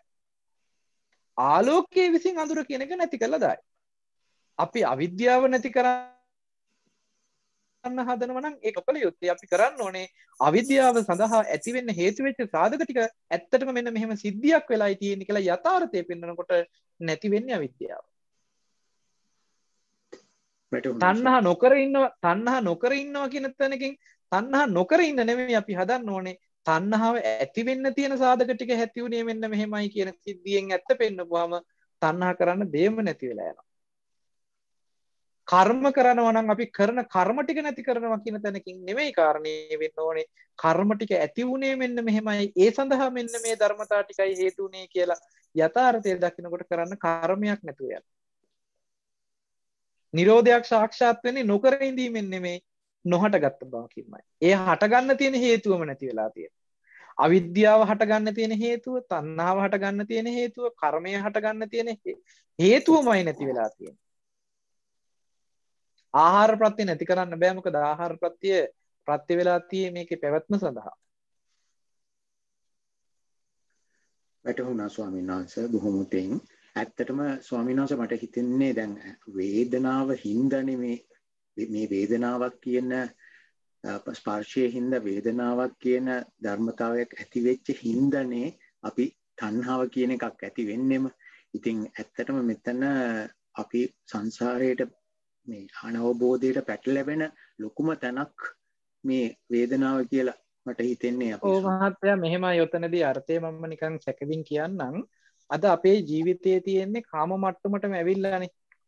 කාම මට්ටමටම ඇවිල්ලා තියෙන තැනින් ඉස්සෙල්ලා ගලවන්න ඕන හින්දා තමයි මේ රූපයේ යථාර්ථය තේරුම් ගන්න පුළුවන් වෙන විදිහට කායානුපස්සනාව පෙන්නලා තියෙන්නේ. ඒකේ බරසාරකම ටිකක් අඩු වුණාට පස්සේ වේදනානුපස්සනාවෙන් පෙන්නනවා එහෙම ගියේ මෙන්න මෙහෙමයි කියලා. වේදනානු මට්ටමින් කියන්නේ ස්පර්ශය නිසා වේදනාවක් හටගන්න බව කියන සිද්ධියකින් නතර වුණේ නැති නිසා තමයි මේ කාය නිමිති හදාගන්න රූප මට්ටමට ගියේ අපි. අද අපිට මේ රූපේ ඇත්ත වෙලා තියෙන්නේ රූපේ නිමිති නිසායි. එහෙමනම් ඒ එතෙන්ට ගියපු හින්දා එතන ටික ගලවලා යනකොට දැන් ඊළඟට ප්‍රකට වෙන්නේ වේදනාව. වේදනාව පිළිබඳව විමසනකොට මේක හඳුනගන්න විඥාන මට්ටම හඳුනගන්න. ඒකයි චිත්තානුපස්සනාව ඊළඟට පෙන්නලා තියෙන්නේ. විඥාණයටත් හඳුනගන්න උනේ මෙන්න මෙහෙම ධර්මතා ටිකක් වැඩ කරපු තැනයි කියලා ධම්මානුපස්සනාවෙන් ඉතුරු ටික පෙන්වන්නේ ඒ නිසායි මේ අනුපස්සනා පිළිවෙලක් තියෙන්නේ නිසා. නැත්නම් මුලින්ම ධම්මානුපස්සනාව පෙන්නලා ඊට පස්සේ චිත්තානුපස්සනාව පෙන්නලා ඊළඟට වේදනානුපස්සනාව පෙන්නලා අන්තිමේටම කායානුපස්සනාව පෙන්වන්න පුළුවන් නෑ. මේ පිළිවෙලකට පෙන්වන්නේ කාය වේද චිත්ත ධම්ම කියන ධර්මතා හතර පෙන්වන්නේ අපි පල්ලෙහාම යට ඉඳන් උඩට එන මට්ටම. පෙන්වන්න. එහෙම මානසික මට්ටමේ දියුණු වෙන දියුණු වෙනකොට දැනෙන නුවණකට හසු වෙන පරාසය පෙන්වන්න. නුවනේ යටම අඩියේ ඉන්න කෙනාට කායानुපස්සනාව වැඩි වඩන්නට ඕන. මොකද එයා ඉන්නේ එළියට බැහැර බලාගෙන. ඇතුලේ බලාගෙන නෙමෙයි. ඒ නිසා ඇතුළට ගන්න ඕනේ නාම ධර්ම ටික පැත්තට ගන්න ඕන නිසා තමයි රූපේ තියෙන බරසාරකම රූපෙට පැත්තට නැඹුරු වෙලා රූපේ පැත්තට ගහගෙන ගියපු ගතිය ගෙවා දමන්න තමයි රූපේ ඇත්ත පෙන්වන්නේ. රූපේ ඇත්ත පෙන්න පෙන්න පෙන්න පෙන්න එහෙට යන්න තියෙන ගතියම ගෙවලා ඇතුළට දාන්න. ඇතුළට දානකොටම ප්‍රකට වෙන්නේ යාට වේදනා මට්ටම. මොකද කයත් එක්ක බැඳිලා තියෙන වේදනා මට්ටම. වේදනාව කිව්ව ගමම කය ගැට ගැහිලා තියෙන. කයෙන් වේදනාව වෙන් කරලා බලන විදිය තමයි මේ වේදනානුපස්සනාවෙන් පෙන්නන්නේ. වේදනාව ගැන බලන්න යනකොට පේනවා මේක හිත නේද අඳුනගන්නේ මේ වේදනාව මට්ටම. මේ විදින ස්වභාවයේ හිතින් නේද අඳුනගන්නේ කියලා. ඊළඟට චිත්තානුපස්සනාව. එහෙම සිද්ධියක් වෙලා තියෙන යථාර්ථය කොහොමද වෙලා තියෙන්නේ කියන එක ධර්මතා ටිකක සිදුවීමක් නේද මේ වෙලා තියෙන්නේ කියලා ධම්මානුපස්සනාවෙන් බලන්න. ටික ටික ටික ටික උඩට අරගත්ත වැඩපිළිවෙලක් මේ තියෙන්නේ. සාදු සාදු සාදු තේරුණා අපේ ස්වාමීන් වහන්සේ.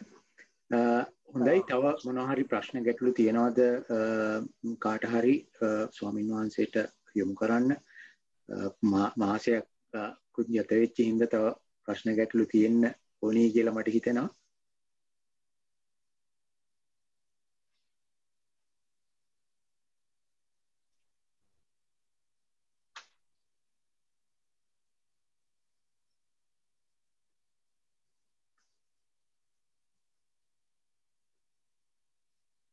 මට හිතෙන්නේ අපේ ස්වාමීන් වහන්සේ මේ මාසයක් හොඳට පුරුදු භාවනාව පුරුදු පුහුණු කරපු හින්දා තිබ්බ ප්‍රශ්න ඔක්කොම නැති වෙන්නේ නැති කියලා. අපේ ස්වාමීන් වහන්සේ ප්‍රශ්න නැහැ ප්‍රශ්නයක් යොමු වෙනවා.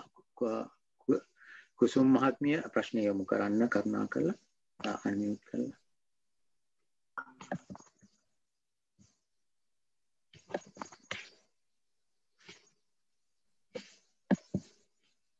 අන්මියුට් කරන්න මහත්මිය. තෙරුවන් සරණයි. තෙරුවන් සරණයි තෙරුවන්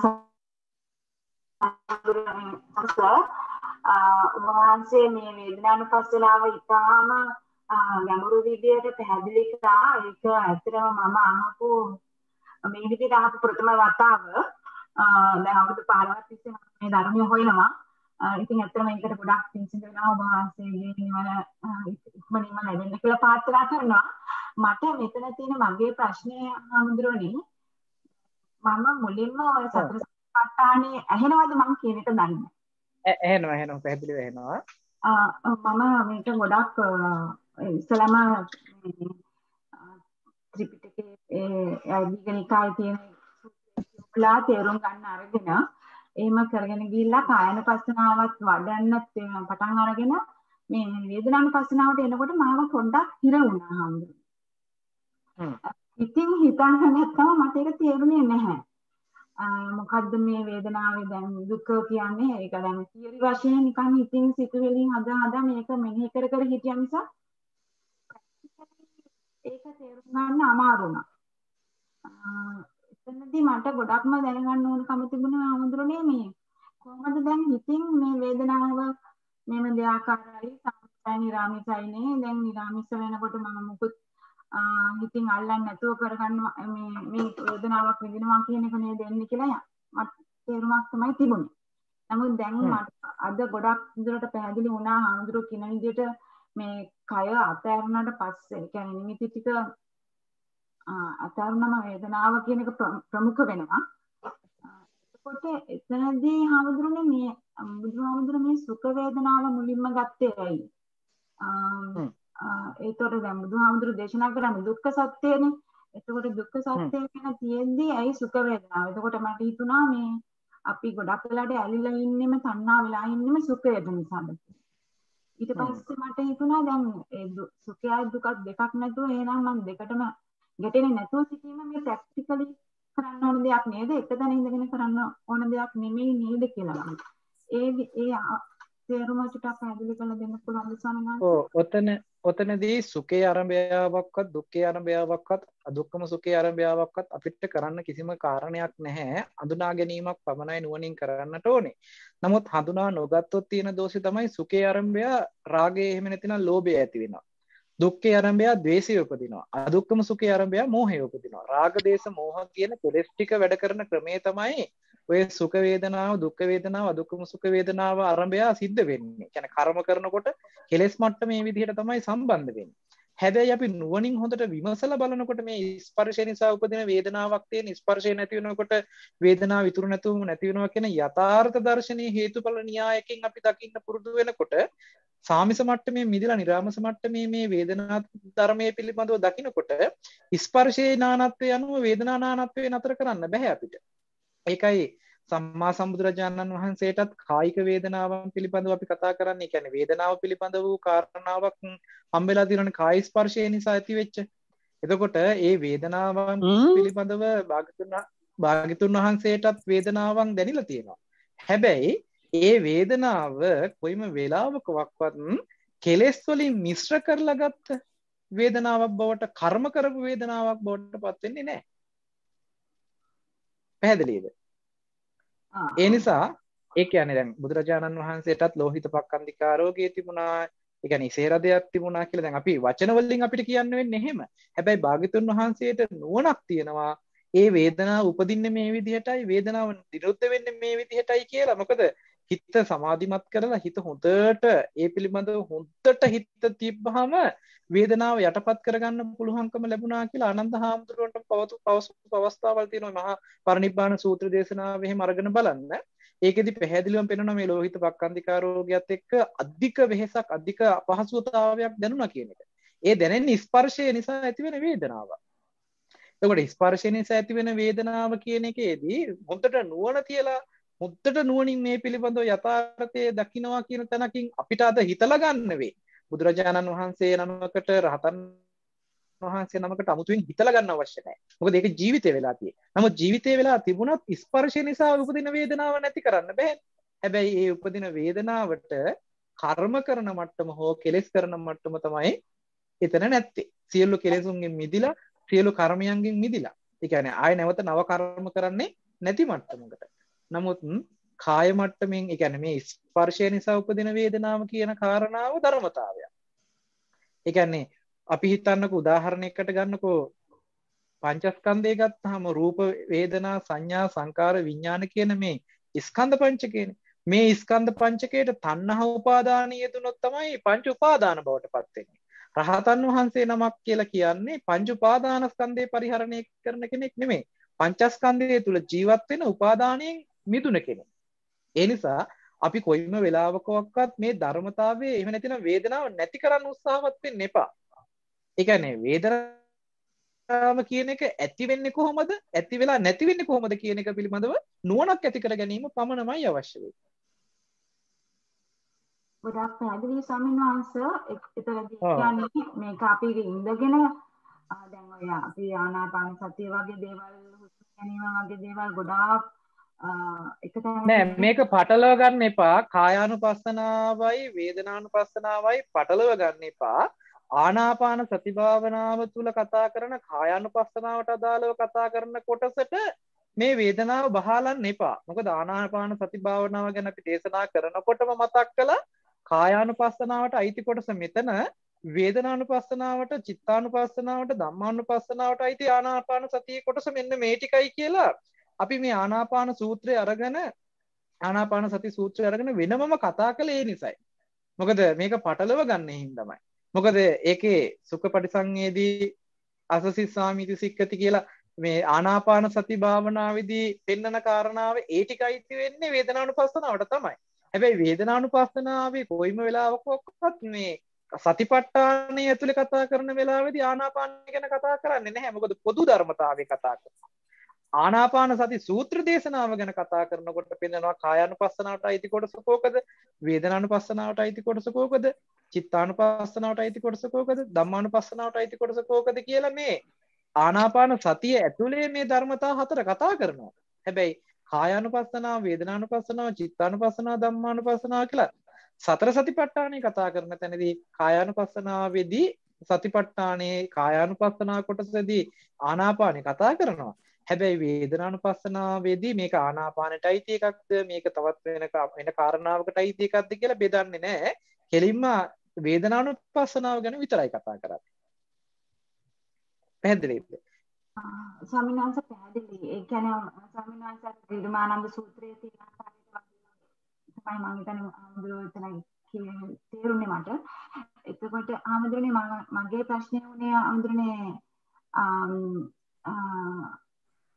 අපි එක තැනක ඉඳගෙන කරන්න අවශ්‍ය කරන්නට වඩා වේදනානුපස්සනාව ගැන කරනකොට ඒක ගැන මෙනෙහි කරනකොට අපිට ඕනෑම අවස්ථාවකදී ඒක කරන්න පුළුවන් කියන එකක් තමයි මට පුළුවන් මේ මේ එකම එකම කමටහනක්වත් කායානුපස්සනා වේදනානුපස්සනා චිත්තානුපස්සනා ධම්මානුපස්සනා කියන මේ සතර සතිපට්ඨානේ එකම කමටහනක්වත් ඉඳගෙනම විතරයි කළ යුතුයි කියන එකක් පෙන්වන්නේ සතර ඉරියව්වේදීම පෙන්වන කාරණයක් tie. එහෙමයි හම්බුනේ මම කර්ණේ මෙත සූත්‍රයේද වගේ. මට ඒක තේරුණා හම්බුනේ. ආ ඒක තමයි මම මගේ ප්‍රශ්නේ මීට කලින් දැන්. හාමුදුරුවන්ගේ මේ දේශනාව ඉතාමත්ම මට ගොඩාක් ප්‍රයෝජනවත් වුණා හාමුදුරනේ. එතනදී නිමිත්තට අපි හිත ඒක මට ප්‍රැක්ටිකලි කියලා තියෙනවා. දැන් උදාහරණයක් වශයෙන් මට මම දන්නේ මම මම එහෙම අහන්නද හාමුදුරනේ වෙලාව තියෙනවද දන්නේ ඇහෙනවද? ඔව් ගැටලුවක් තියෙනවනම් ගැටලුව අහන්න කෙටිය පුතුමිය. ඒක තමයි දැන් මට පැහැදිලි ඒ කියන්නේ එක තැනක ඉඳගන්නේ නැතුව මේ දුක් කැන්සල් ටික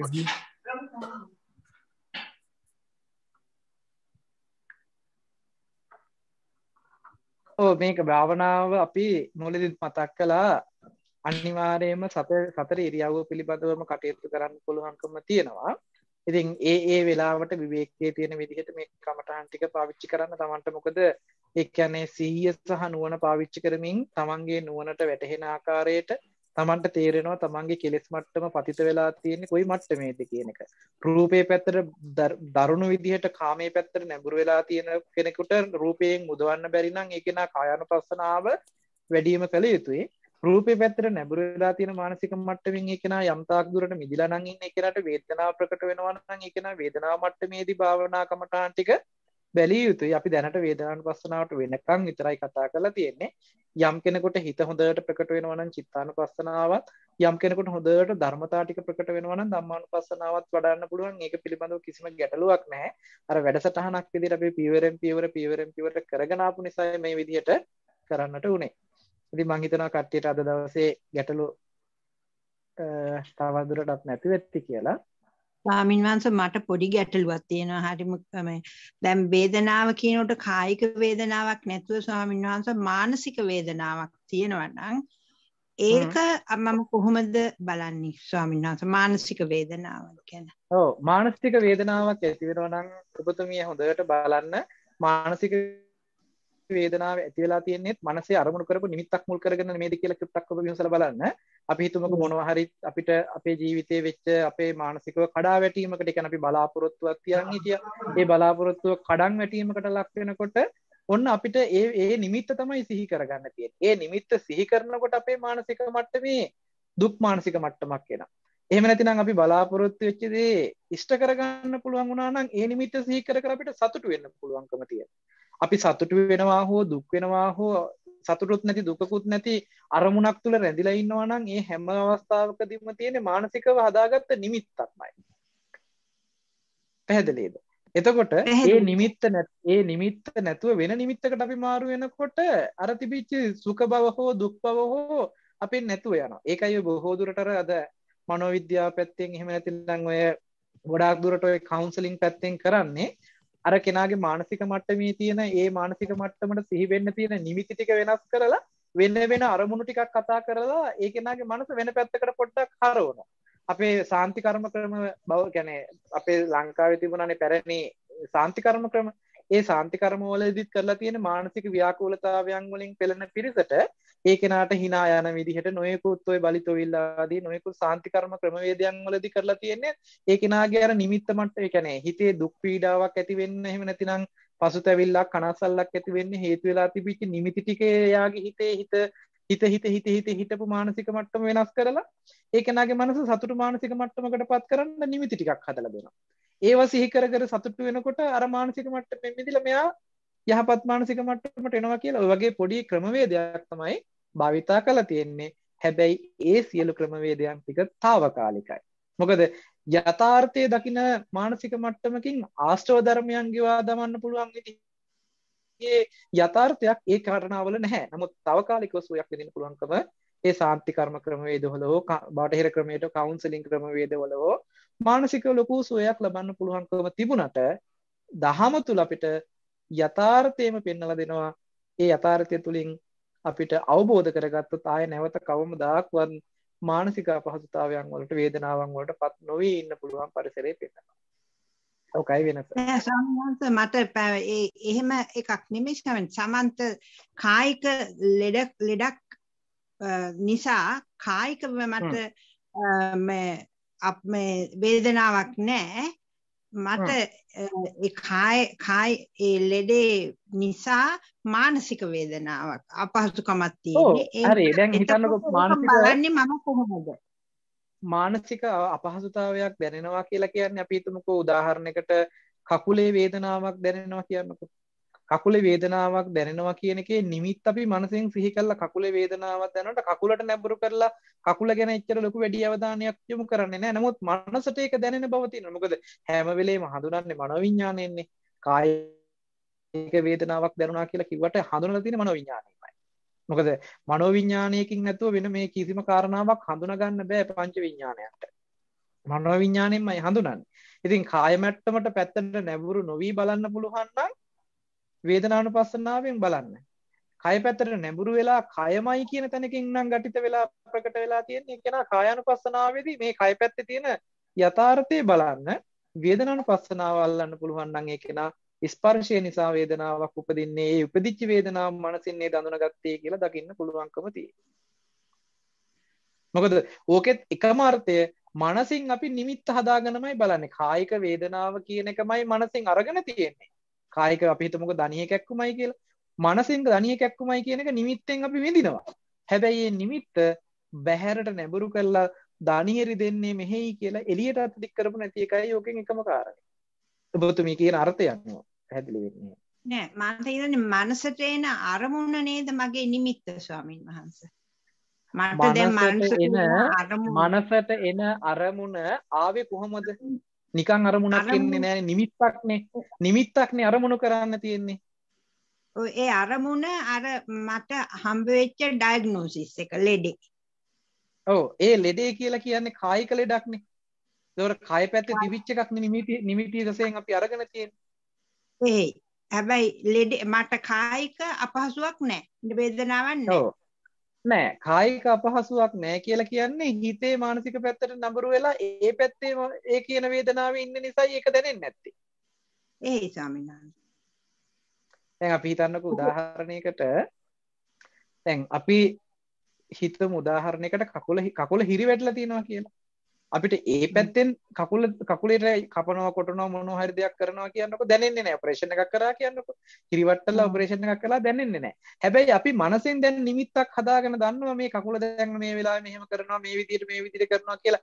ඒ නිමිත්ත සිහි කර කර සිහි කර කර අපිට එතන අරමුණේ නිමිති සිහි කර කර සිහි කර කර අරමුණු හදාගෙන අපිට එතන දුක් විඳින්න බැරිද? වේදනාවක් දැනෙන්නේ නැද්ද? ඒ ඒ අනේ ඒ අරමුණ සාමාන්‍ය ඒ අරමුණ ඒ අරමුණේ අරමුණේ නිමිත්ත ඇත්ත වෙලා තිබුණොත් කායික මට්ටමේ අපි කායානුපස්සනා පැත්තේ නිමිත්ත ලෙහන්න ඕනේ. ඒ කියන්නේ දැන් අපිට එන අරමුණක් තියෙනවනේ. ඒ අරමුණට නිමිත්තක් හම්බෙලා තියෙනවනේ කකුල කියලා හරි ඔළුව කියලා හරි යම් කයේ කයම කියලා හරි. එහෙම නැත්නම් මේ ශරීරයෙන්ම කියන තැනකින් අපිට නිමිත්තක් ඇවිල්ලා තියෙනවනේ. එතකොට මේ නිමිත්ත ඇත්ත වෙලානේ අපිට. එහෙමනම් නිමිත්ත ඇත්ත වෙලා තියෙන තැනේදී අපිට ලෙහන්න වෙනවා කායානුපස්සනාවේදී. ඒ බර අඩු කරන්න වෙනවා. ඊට පස්සේ වේදනානුපස්සනාවේදී අපිට නිමිත්තක් හම්බ නොවන විදිහට ස්පර්ශය නිසා වේදනාවක් උපදිනවා නේද කියන තැනකින් ප්‍රකට කරගන්න. එහෙම ප්‍රකට කරගත්තොත් ආපහු නිමිත්තට ගහගෙන යනවා නම් ඒ නිමිත්තට ගහගෙන ගිහිල්ලා වේදනාවක් උපදිනවා නම් ඒ උපදින වේදනාව අපි අනිවාර්යයෙන්ම දැනගත යුතුයි සාමිස වේදනාවක් කියලා. ඒ කාමයේ පැත්තට නිමිත්ත පැත්තට නැඹුරු වෙලා තියෙන්නේ. හ්ම්. පැහැදිලි නේද කාරණේ?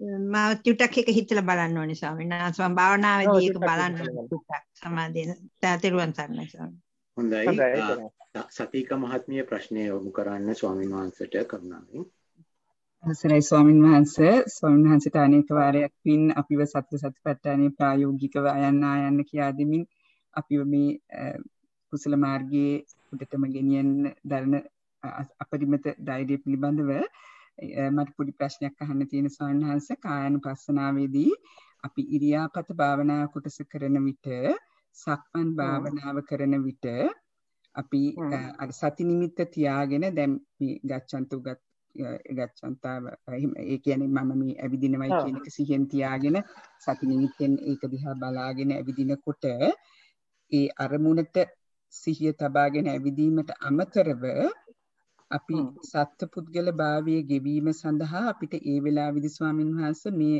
මගේ මේ කය මෙහෙම ඇවිදින කයක් වුණාට මෙතන සතර මහා ධාතුන්ගෙන් හැදිච්ච කයක් මෙතන සත්‍වික පුද්ගලෙක් නැහැයි කියලා ඒ විදිහට එතන මෙනෙහි කිරීම සුදුසුද සහ ඒක එක ප්‍රශ්න ස්වාමීන් වහන්සේ. එතෙන්ටම අදාළ අනිත් ප්‍රශ්නේ අර අපි කකුල වැදෙනකොට එතන අර තද වෙන ගතිය නිසා මෙතන වේදනාවක් තදවීමක් ඇතිවීමක් මිසක් මෙතන වෙන සත්‍ය පුද්ගලෙක් නැහැ කියන ඒ විදි දෙකටම ස්වාමීන් වහන්සේ විදර්ශනා කිරීම සුදුසුද කියන ප්‍රශ්නේ ඔව්.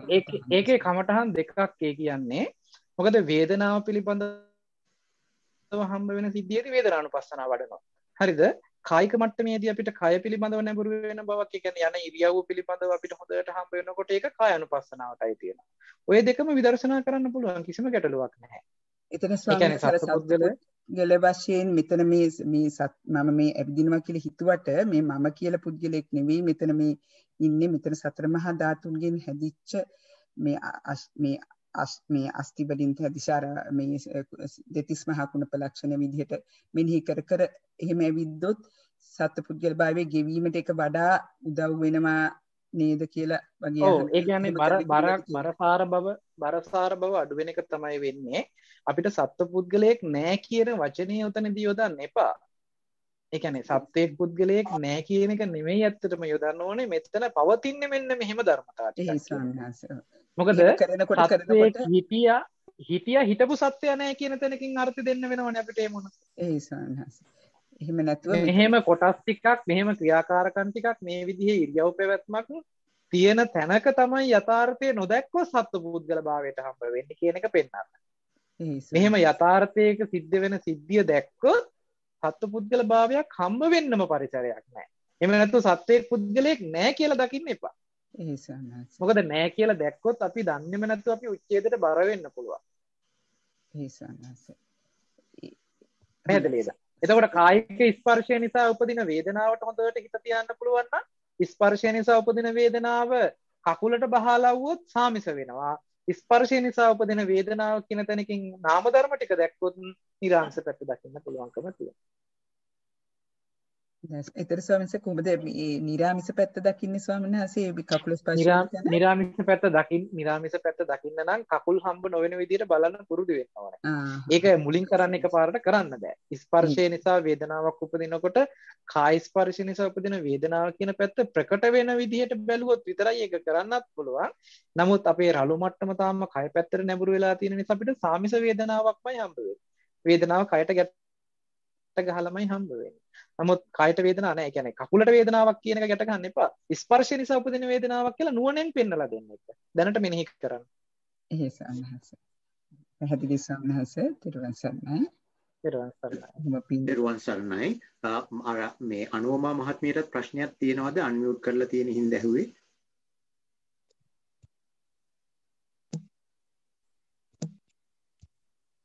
තව ප්‍රශ්න එහෙමනම් නෑ වගේ මම දැන් උත්තරා මහත්මියට යොමු වෙනවා. අද දින වැඩසටහන අවසන් කරන්න පෙර අපේ ස්වාමීන් වහන්සේට පුණ්‍යානුමෝදනාව කරන්න මේ තෙරුවන් සරණයි. තෙරුවන් සරණයි හැමතෙම සාදු සාදු. අපගේ අති ගෞරවනීය කල්යාණ මිත්‍රයාණන් වහන්සේ නම කියන්න අවසරයි. පළුගස්සව සද්ධාතිස්ස ස්වාමින් වහන්සේ. කොයි තරම්ම කාර්යබහුල වුණත් අප වෙත ඉතාම කරුණාවෙන් සතර සතිපට්ඨානය ප්‍රායෝගිකව වඩන අයට පැහැදිලි කර දීම පිළිබඳව පාද නමස්කාර කර පින් අනුමෝදන් කරමු. ඔබ වහන්සේ ප්‍රාර්ථනික බෝධියකින් සුඛ ප්‍රතිපදාවකින්ම ඒ අමා මහ නිවනට පැමිණෙත්වා.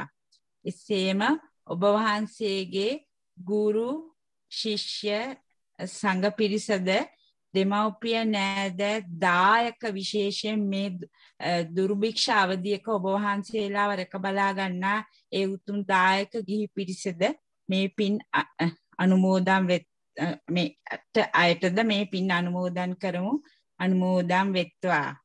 එසේම මේ වැඩසටහන සංවිධානය කරන ප්‍රසන්ත ලකල් ලාල් ඇතුළු සියලු දෙනාටත් වැඩසටහනට සහභාගී වූ ඔබ සැමටත් නිර්වාණ අවබෝධය සඳහාම මේ පින හේතු වේවායි ප්‍රාර්ථනා කරමු. සාදු සාදු සාදු. හොඳයි. තෙරුවන් සරණයි. බොහොම පින් උත්තරා. මම අද දින වැඩසටහන අවසන් කරන්නට අපේ ගර්ව අපේ ගෞතර මහා පළුගස්්‍රවේ සද්ධා තිස්ස ස්වාමීන් වහන්සේට ආරාධනා කර සිටිනවා. තිරුවන් සරණයි. තෙරුවන් සරණයි මහත්තයා. විශේෂයෙන්ම මතක් කරන්නට ඕනේ ඊළඟ සතියේදී අපිට වැඩසටහන කරන්නට අපහසුතාවයක් තිබෙනවා. මොකද එදා දවසට ලබුණෝරු කන්ද ආරණ්‍ය සේනාසනයේට අපේ නිවසින් බාරගත්ත දාන පින්කමක් ඉදිලා තියෙනවා.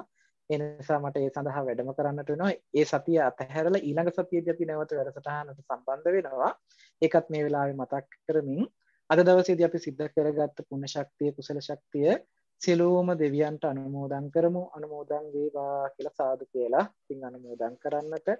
ඒ වගේම අපවත් වී වදාළ සංඝ පීත්‍රුන් වහන්සේලාටත් විශේෂයෙන්ම මේ දවස්වල අමරපුර මහානිකායේ මහානායක මාහිම්පාණන් වහන්සේ අපවත් වන්න තියදුණා. ඉතින් ගෞරවනීය නායක මාහිම්පාණන් වහන්සේ බොහෝම සමීපව අපි දන්නා හඳුරන ස්වාමීන් වහන්සේ නමක්. ඉතින් නායක හාමුදුරන් වහන්සේත් මේ වෙලාවේ මතක් කරමින් උන්වහන්සේටත් අපි මේ වෙලාවේදී පුණ්‍යානුමෝදනා කරනවා. ඒ වගේම මේ සම්බන්ධ වෙන හැම දෙනෙක්ම නමින් මේ පරලොව ගිය සියලුම ඥාතීන්ටත් මේ වෙලාවේදී අපි මේ පින් අනුමෝදන් කරමු දුකක නඩිලා සැපවත් වේවා. ඒ අයද ප්‍රාර්ථනා කරන බෝධියකින් ඉවනින් සැනසෙත්වා කියලා සාදු කියලා පින් අනුමෝදන් කරන්න. තුනුරුවන්ගේ අනන්ත ගුණ බලයෙන් දෙවියන්ගේ දේව රැකවරණයෙන් සිද්ධ කරගන්නට යෙදුන අති උදාර පුණ්‍ය ශක්තියේ කුසල ශක්තිය බලයෙන්. අපට ධර්මයෙන් අර්ථයෙන් නිරන්තරයෙන් අවවාද අනුශාසනා ලබා දෙමින් ඒ දහම් මග යන්නට නිරන්තරයෙන් අපිට මඟ පෙන්වීම සිදු කරන අප සත්පුරුෂයන් වහන්සේ නමක් විදිහට බොහෝ දුරට අපිව ඇසුරු කරමින් අපි වේ සඳහා යොමු කරවන අප ධර්මාචාරයන් වහන්සේ සිහි කර යුතුම වෙනවා. මේ නිසා නම කියන්නට අවසරයි. මාං කඩවල සුදස්සන ස්වාමීන් වහන්සේ සත්පුරුෂකමින් යුතුවම සිහිපත් කරනවා.